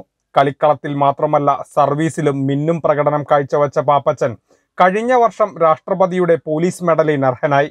ഗോൾ കീപ്പർമാരെ വളർത്തിയെടുക്കാനുള്ള അക്കാദമിയാണ് സി വി പാപ്പച്ചന്റെ ഇനിയുള്ള സ്വപ്നം. അപ്പോൾ നമ്മുടെ ഒരു മനസ്സിലുള്ളത് എന്ന് പറഞ്ഞാൽ ഒരു അക്കാഡമി ചെറിയൊരു ഗോൾ കീപ്പർമാർ അക്കാഡമി ഞാൻ എല്ല- എല്ലാവരും പറഞ്ഞത് എനിക്കൊരു ആഗ്രഹമുണ്ട്. അപ്പോൾ അതിനുള്ള ഒരു ഫസ്റ്റ് റൗണ്ട് ഞങ്ങൾ സംസാരിച്ച് ഞങ്ങളുടെ ഫ്രണ്ട്സൊക്കെ ആയിട്ട് തന്നെ ഇത് കഴിഞ്ഞിട്ടുണ്ട്. ഇനി അത് ഇത് കഴിഞ്ഞിട്ട് ഇപ്പോൾ കൊറോണയുടെ ഈ ഇപ്പോഴത്തെ ഒരു പ്രശ്നം കഴിഞ്ഞിട്ടുണ്ടല്ലോ അത് മാറിയതിന് ശേഷം ഞങ്ങൾ അതിനൊരു ട്രയൽ നടത്തി എടുക്കാൻ തുടങ്ങാനുള്ള ഒരു എല്ലാ എല്ലാ രീതിയും ഇതാക്കിയിട്ടുണ്ട്. ഇനി അത് ആ ഒരു കൊറോണയുടെ ഒന്ന് മാറി കിട്ടിയേ ഉണ്ടോ കാൽപന്തിൽ മായാജാലം തീർത്ത പാപ്പച്ചൻ കേരള പോലീസിന്റെ കുപ്പായത്തിൽ ഇനി ഏതാനും മണിക്കൂറുകൾ മാത്രം. പിന്നീട് പരിശീലകന്റെ വേഷത്തിൽ കളിക്കളത്തിൽ വേഷങ്ങൾ മാറുമെങ്കിലും പുൽമൈതാനത്തുരുളുന്ന പന്തിനൊപ്പം എന്നും പാപ്പച്ചനുണ്ടാകും. Gokul V S Kairali News Thrissur. മുഖ്യമന്ത്രിയുടെ വാക്സിൻ ചലഞ്ചിലേക്ക് മത്സ്യവിളവെടുപ്പിലൂടെ പണം കണ്ടെത്തി ഡിവൈഎഫ്ഐ പ്രവർത്തകർ. തൊടുപുഴ മുതലക്കോടം മേഖലാ കമ്മിറ്റി ഇരുപത്തിയാറായിരത്തി എണ്ണൂറ്റി അൻപത് രൂപയാണ് വാക്സിൻ ചലഞ്ചിലേക്ക് നൽകിയത്. പട്ടയം കവലയിലെ വടക്കേൽ നിസാറിന്റെ ഒന്നര ഏക്കർ വയലിൽ തീർത്ത കുളത്തിലായിരുന്നു മത്സ്യകൃഷി. തിലോപ്പിയും വരാലുമായിരുന്നു പ്രധാന കൃഷി. ഡിവൈഎഫ്ഐ പ്രവർത്തകരുടെ നേതൃത്വത്തിലുള്ള വിളവെടുപ്പിൽ നൂറ്റി അൻപത് കിലോയിലധികം മത്സ്യം ലഭിച്ചു. C P I M Thodupuzha area committee secretary Muhammad ഫൈസലിന്റെ നേതൃത്വത്തിലായിരുന്നു വിളവെടുപ്പും വിൽപ്പനയും. ഈ ഉദ്യോഗം ഇങ്ങനെ നടക്കാനിടയായ സാഹചര്യം തൊടുപുഴ പട്ടാങ്കോലയിലെ വടക്കേൽ കുടുംബാംഗമായ നാസ്രിക തന്റെ സുഭിക്ഷ കേരളം പദ്ധതിയുടെ ഭാഗമായി വിളവെടുപ്പിന്റെ മീൻ വിളവെടുപ്പ് നടത്തുകയും അതിന്റെ ഭാഗമായി വളർന്ന മീനുകൾ മുഖ്യമന്ത്രിയുടെ വാക്സിൻ ചലഞ്ചിലേക്ക് വിറ്റ് കിട്ടുന്ന പണം നൽകാമെന്ന് ഡിവൈഎഫ്ഐ പ്രവർത്തകർ ഇവിടുത്തെ പുരോഗമന പ്രസ്ഥാനത്തെ അറിയിക്കുകയും ചെയ്തു. അതിന്റെ അടിസ്ഥാനത്തിൽ ഡിവൈഎഫ്ഐയുടെയും പുരോഗമന പ്രസ്ഥാനത്തിന്റെ ആളുകൾ ഇന്ന് ഇന്നലെ വെളുപ്പിന് തുടങ്ങിയ മീൻപിടുത്തമാണ് മീൻ പിടിച്ച് അതിന്റെ ഈ റോഡിൽ നിന്ന് വിൽപ്പനയും ആ വിറ്റ് കിട്ടുന്ന പണം മുഖ്യമന്ത്രിയുടെ വാക്സിൻ ചലഞ്ചിലേക്ക് നൽകാനുമാണ് തീരുമാനിച്ചിരിക്കുന്നത് നിലവിൽ. മത്സ്യം വിറ്റ് കിട്ടിയ ഇരുപത്തിയാറായിരത്തി എണ്ണൂറ്റി അൻപത് രൂപ മുഖ്യമന്ത്രിയുടെ വാക്സിൻ ചലഞ്ചിലേക്ക് നൽകി. M L A M M Mani മുഖാന്തരമാണ് യുവാക്കൾ പണം കൈമാറിയത്. കൈരളി ന്യൂസ് ഇടുക്കി.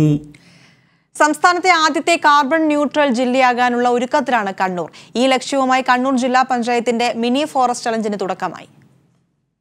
വ്യക്തികൾക്കും സ്ഥാപനങ്ങൾക്കും മിനി ഫോറസ്റ്റ് ചലഞ്ചിൽ പങ്കെടുക്കാം. മരങ്ങൾ വച്ചുപിടിപ്പിച്ച് ചെറുകാടുകൾ ഉണ്ടാക്കാൻ കണ്ണൂർ ജില്ലാ പഞ്ചായത്ത് സഹായിക്കും. രണ്ട് സെന്റ് സ്ഥലത്ത് നാനൂറ് മരങ്ങൾ വരെ ശാസ്ത്രീയമായ രീതിയിൽ വച്ചുപിടിപ്പിച്ച് പരിപാലിക്കാൻ കഴിയും. വൃക്ഷത്തൈകളും സാങ്കേതിക സഹായങ്ങളും ജില്ലാ പഞ്ചായത്ത് നൽകും. ഒരു വർഷം കൊണ്ട് നൂറ് ചെറുവനങ്ങൾ ഉണ്ടാക്കുകയാണ് ലക്ഷ്യം. ജില്ലാതല ഉദ്ഘാടനം ചട്ടുകപ്പാറയിൽ മന്ത്രി എം വി ഗോവിന്ദൻ മാസ്റ്റർ നിർവഹിച്ചു. ലോകത്താകെ ചർച്ച ചെയ്യപ്പെടുന്ന കാർബൺ പ്രതിരോധ പ്രവർത്തനത്തിന് ആഗോള താപനിലയുമായി ബന്ധപ്പെട്ടുകൊണ്ട് താപനില ഗുരുതരമായി കൊണ്ടിരിക്കുന്ന പശ്ചാത്തലത്തിൽ നമുക്കതിനെ പ്രതിരോധിക്കാൻ ലോകത്തിന്റെ മുമ്പിൽ നിൽക്കാനുള്ള ശേഷി കേരളത്തിനുണ്ട്. ആ ശേഷി ഫലപ്രദമായിട്ട് എങ്ങനെ ഉപയോഗിക്കാം? ഇതാണിപ്പോൾ കണ്ണൂർ ജില്ലാ പഞ്ചായത്ത് ഭാവനാപൂർവം ഒരു പരിപാടി ആസൂത്രണം ചെയ്ത് ഒരു ജില്ല എന്ന രീതിയിൽ കേരളത്തിലെ പതിനാല് ജില്ലയിലും മുമ്പിൽ നടക്കാൻ പോകുന്ന ഒരു വളരെ ഫലപ്രദമായ പ്രൊജക്റ്റ് ഇവിടെ ആരംഭിക്കുകയാണ്. മത്സരമായാണ് ലിറ്റിൽ ഫോറസ്റ്റ് ചലഞ്ച് സംഘടിപ്പിക്കുന്നത്. വർഷത്തിൽ പരിശോധന നടത്തി മാതൃകാ വനം സൃഷ്ടിക്കുന്നവർക്ക് പുരസ്കാരം നൽകും. ഉദ്ഘാടന ചടങ്ങിൽ ജില്ലാ panchayat president P P Divya vice president Binoy Kurian തുടങ്ങിയവർ പങ്കെടുത്തു. കൈരളി ന്യൂസ് കണ്ണൂർ. കോവിഡ് ബാധിച്ച് ശ്വാസതടസ്സമുള്ളവർക്ക് വീടുകളിൽ ഓക്സിജൻ കോൺസെൻട്രേറ്ററുകൾ എത്തിക്കുന്ന ജീവകാരുണ്യ പരിപാടിക്ക് കൊല്ലത്ത് തുടക്കം. കൊല്ലം കടപ്പാക്കട സ്പോർട്സ് ക്ലബിന്റെ ആഭിമുഖ്യത്തിൽ തുടങ്ങിയ പദ്ധതി മന്ത്രി ജെ ചിഞ്ചുറാണി ഉദ്ഘാടനം ചെയ്തു. കോവിഡ് ചികിത്സ മുതൽ വാക്സിനേഷൻ വരെ ജനപങ്കാളിത്തത്തോടെ മാതൃകാപരമായി നടത്തുന്ന സർക്കാരിന് തുണയേകുന്നതാണ് കടപ്പാക്കട സ്പോർട്സ് ക്ലബിന്റെ മുൻകൈയിൽ കൊല്ലത്ത് നടപ്പാക്കുന്ന പ്രാണവായു പദ്ധതി. ഡൽഹിയിലെ ഡിസ്ട്രസ് മാനേജ്മെന്റ് കളക്റ്റീവ് ഇന്ത്യയ്ക്ക് വിദേശത്തു നിന്ന് ലഭിച്ച പത്ത് ഓക്സിജൻ കോൺസെൻട്രേറ്റുകൾ കൊല്ലം മേയർ പ്രസന്ന എണസ്റ്റന് മന്ത്രി ചിഞ്ചുറാണി കൈമാറി. കോവിഡ് ബാധിതരായ വീടുകളിൽ കഴിയുന്ന ഓക്സിജൻ വേണ്ട രോഗികൾക്ക് വേണ്ടിയാണ് പ്രാണവായു പദ്ധതി. കടപ്പാക്കട സ്പോർട്സ് ക്ലബിന് ലഭിച്ച കോൺസെൻട്രേറ്റുകളിൽ നാലെണ്ണം വീതം എൻ എസ് സഹകരണ ആശുപത്രിയുടെയും ഉപാസന ആശുപത്രിയുടെയും സഞ്ചരിക്കുന്ന ക്ലിനിക്കുകൾ വഴി വീടുകളിൽ എത്തിക്കും. വീടുകളിൽ എത്തിക്കുന്ന യന്ത്രം ഉപയോഗശേഷം തിരിച്ചെടുക്കുകയും മറ്റാവശ്യക്കാർക്കും നൽകും. ഓക്സിജൻ ലെവൽ ഏറെ മോശമാകുന്നവർ നിർബന്ധമായും ആശുപത്രികളിലേക്ക് പോകണമെന്ന് പദ്ധതിയുടെ കോർഡിനേറ്ററായ ഡോക്ടർ ദീപ്തി പ്രേം അറിയിച്ചു. മേയറുടെ ആവശ്യപ്രകാരം രണ്ട് ഓക്സിജൻ കോൺസെൻട്രേറ്റുകൾ കോർപ്പറേഷന്റെ പട്ടത്താനത്തെ കരുതൽവാസ കേന്ദ്രത്തിൽ എത്തിച്ചു പദ്ധതി ജനങ്ങൾക്ക് ആശ്വാസപ്രദമാണെങ്കിൽ കൂടുതൽ യന്ത്രങ്ങൾ എത്തിക്കുമെന്ന് ഡൽഹി കേന്ദ്രമായ സംഘടനയുടെ രക്ഷാധികാരി justice Kurian Joseph അറിയിച്ചിട്ടുണ്ടെന്ന് sports club secretary R S Babu പറഞ്ഞു. ചവറ മണ്ഡലത്തിലേക്കും കോൺസെൻട്രേറ്റുകൾ വേണമെന്ന doctor Sujith Vijayanpillai M L എയുടെ ആവശ്യം പരിഗണിക്കുമെന്ന് കളക്റ്റീവ് ഇന്ത്യയുടെ പ്രതിനിധികളായ ഡോക്ടർ ഹാറൂണും അനിൽ ജബാറും അറിയിച്ചു. Club president advocate G Sathyababu treasurer A Shyamkumar councillor George D Kattil R Vijayakumar തുടങ്ങിയവർ പങ്കെടുത്തു. കൈരളി ന്യൂസ് കൊല്ലം. തിരുവനന്തപുരത്ത് പ്രവർത്തിക്കുന്ന മാജിക് അക്കാദമിക്ക് ഇരുപത്തിയഞ്ച് വയസ്സ്. കോവിഡ് സാഹചര്യത്തിൽ നന്മ നിറഞ്ഞ പദ്ധതികളുമായാണ് അക്കാദമി രജത ജൂബിലി ആഘോഷിക്കുന്നത്. മജീഷ്യൻ ഗോപിനാഥ് മുതുകാടിന്റെ നേതൃത്വത്തിൽ ആരംഭിച്ച ഏഷ്യയിലെ ആദ്യത്തെ മാജിക് പഠന കേന്ദ്രമാണ് ഈ അക്കാദമി.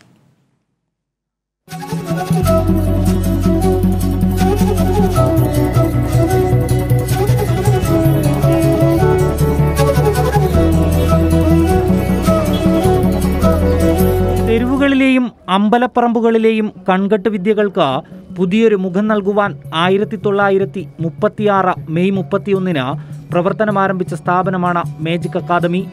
മജീഷ്യൻ ഗോപിനാഥ് മുതുകാടിന്റെ നേതൃത്വത്തിൽ ആരംഭിച്ച ഏഷ്യയിലെ ആദ്യത്തെ മേജിക് പഠന കേന്ദ്രം. ഇന്ദ്രജാലത്തെ ജനകീയമാക്കുന്നതിനപ്പുറം ജാലവിദ്യക്കാരുടെ ക്ഷേമവും അക്കാദമിയുടെ ലക്ഷ്യമായിരുന്നു. വന്ന് തിരുവനന്തപുരത്ത് ഇങ്ങനെ പ്രോഗ്രാമിനൊക്കെ വരുന്ന സമയത്ത് മലയാറ്റൂർ രാമകൃഷ്ണൻ സാറിനെ പരിചയപ്പെട്ടു. അതൊരു പിതൃതുല്യമായിട്ടൊരു ബന്ധമായിട്ട് വളർന്നു. അദ്ദേഹത്തിന്റെ ഐ എ എസ് ബുദ്ധിയിൽ ഉദിച്ച ആശയമാണ് മാജിക് അക്കാദമി എന്ന് പറയുന്നത്. അപ്പോൾ അദ്ദേഹം പറഞ്ഞു തന്ന ഈ തെരുവിൽ മാജിക് കാണിച്ച് നടന്നാൽ പോരാ. അല്ലെങ്കിൽ സ്റ്റേജിൽ മാജിക് കാണിച്ച് നടന്നാൽ പോരാ. അപ്പോൾ ഇതിനെ പറ്റിയുള്ളൊരു അവയർനെസ് ഉണ്ടാക്കാൻ വേണ്ടിയിട്ടൊരു അക്കാഡമി തുടങ്ങണം. പിന്നെ യൂണിവേഴ്സിറ്റി തലത്തിലൊക്കെ ക്ലാസ്സൊക്കെ തുടങ്ങി. നീ ചിന്തിക്കുന്നത് പോലെയല്ല മാജിക്കിന്റെ ഒരു തലം എന്ന് പറഞ്ഞ് മനസ്സിലാക്കി. അദ്ദേഹം തന്നെയാണ് ഇവിടെ ഒരു എട്ട് സെന്റ് സ്ഥലം വാങ്ങിക്കാനുള്ളൊരു സംവിധാനമൊക്കെ ചെയ്ത് സതീഷ് ബാബു പയ്യന്നൂരാണ് ഈ സ്ഥലം വാങ്ങിക്കാനുള്ള ഏർപ്പാടൊക്കെ ചെയ്തത്. കാൽനൂറ്റാണ്ടുകൾ കൊണ്ട് ആയിരക്കണക്കിന് ആളുകളാണ് ഇവിടെ നിന്ന് ജാലവിദ്യയുടെ ആദ്യാക്ഷരം കുറിച്ചത്. ഈ സ്ഥാപനത്തിന്റെ പിറവിയെക്കുറിച്ച് പറയുമ്പോൾ ഒത്തിരി ഓർമ്മകളാണ് മുതുകാടിന് പറയാനുള്ളത്. അന്നിവിടെ വന്ന് കണിയാപുരം രാമേന്ദ്രൻ സാറ് സ്റ്റേജിൽ വന്ന് പ്രസംഗിച്ചുകൊണ്ടിരിക്കുമ്പോൾ പറഞ്ഞു എന്റെ ഒരു മോതിരം കാണാനില്ല ഇവിടെ വന്നതിന് ശേഷം. മുതുകാട് കൈ തന്നിരുന്നു. അപ്പോൾ അദ്ദേഹം അടുത്ത് ആവില്ല. നിങ്ങളൊന്ന് നോക്കാൻ പറഞ്ഞു അപ്പോൾ എല്ലാവരും ചേറിന്റെ അടിയിലൊക്കെ തരുന്നു അത് കഴിഞ്ഞ് അദ്ദേഹം പ്രസംഗിച്ച് അവിടെ പോയിരുന്നു. അത് കഴിഞ്ഞ ഉടനെ തന്നെ തിക്കുറിശി സുകുമാരൻ സാർ വന്നതിന് ശേഷം പ്രസംഗിച്ച് കഴിഞ്ഞ് പറഞ്ഞു ഒരു കണിയാപുരം മോതിരം കാണല്ല എന്ന് പറഞ്ഞല്ലോ. അത് ഇവിടെ ഉണ്ട് എന്ന് പറഞ്ഞു പുള്ളി അന്തരീക്ഷത്തിന് മോതിരം കൊടുത്തു. അപ്പോൾ പിറ്റേ ദിവസം പത്രങ്ങളിൽ മുഴുവനുള്ള വാർത്ത പറഞ്ഞാൽ മാജിക് അക്കാഡമി ഉദ്ഘാടനം ചെയ്തു തിക്കുറിശിയുടെ അതിമനോഹരമായ ഇന്ദ്രജാലം. അതാണ് ടൈറ്റിൽ സമൂഹത്തിന്റെ നന്മയ്ക്കുതകുന്ന ഒത്തിരി പ്രവർത്തനങ്ങൾ മാജിക് അക്കാദമിയുടെ ഭാഗത്തു നിന്നുണ്ടായി. ഒട്ടേറെ പുരസ്കാരങ്ങൾ പിന്നീട് ഈ സ്ഥാപനത്തെ തേടിയെത്തി. മജിഷ്യന്മാരുടെ പുനരധിവാസത്തിന്റെ ഭാഗമായി കഴക്കൂട്ടം കിൻഫ്ര പാർക്കിൽ രണ്ടായിരത്തി പതിനാലിൽ സ്ഥാപിച്ച മാജിക് പ്ലാനറ്റ് മാജിക് അക്കാദമിയുടെ തുടർച്ചയാണ്. ലോകത്തിലാദ്യമായി മാജിക്കിന് യൂണിവേഴ്സിറ്റി അംഗീകാരം ലഭിക്കുന്നതും മാജിക് അക്കാദമിയുടെ കോഴ്സുകൾക്കാണ്. മാജിക്കിനോടുള്ള ആളുകളുടെ കാഴ്ചപ്പാടിൽ മാറ്റം വന്നു എന്നുള്ളതാണ്. ഗവൺമെന്റിന്റെ കാഴ്ചപ്പാടിൽ മാറ്റം വന്നു. ഇപ്പോൾ സംഗീത നാടക അക്കാദമിയുടെ പരിധിയിൽ മാജിക്കുണ്ട് മറ്റു കലകളെ പോലെ തന്നെ. അപ്പോൾ ഒരു ആർട്ടായിട്ട് ഇതിനെ കണ്ടു എന്നുള്ളതാണ് ഏറ്റവും വലിയ നേട്ടം എന്ന് പറയുന്നത്. സർക്കാരിന്റെ സഹായം തീർച്ചയായിട്ടും കിട്ടുന്നുണ്ട്. ഇപ്പോൾ നമ്മുടെ പുതിയ തുടങ്ങിയ പ്രോജക്റ്റിന് വേണ്ടിയിട്ട് മാജിക് പ്ലാനറ്റിന് വേണ്ടിയിട്ട് ഡിഫറന്റ് ആർട്ട് സെന്ററിന് വേണ്ടിയിട്ട് ഭിന്നശേഷി കുട്ടികളുടെ ആ പ്രോജക്റ്റിന് വേണ്ടിയിട്ടൊക്കെ നമുക്ക് എല്ലാ വർഷവും ഗ്രാൻഡ് തരുന്നുണ്ട്. അങ്ങനെയുള്ള സഹായങ്ങളൊക്കെ തരുന്നുണ്ട്. രജത ജൂബിലി ആഘോഷിക്കുന്ന നിമിഷത്തിൽ അക്കാദമിക്കും പ്രവർത്തകർക്കും ചില സ്വപ്ന പദ്ധതികൾ കൂടി ബാക്കിയുണ്ട്.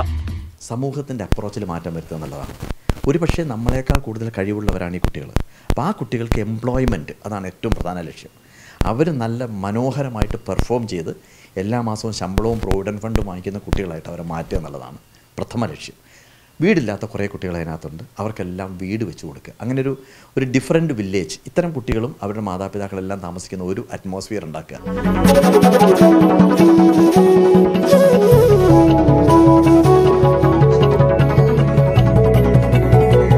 ന്യൂസ് തിരുവനന്തപുരം.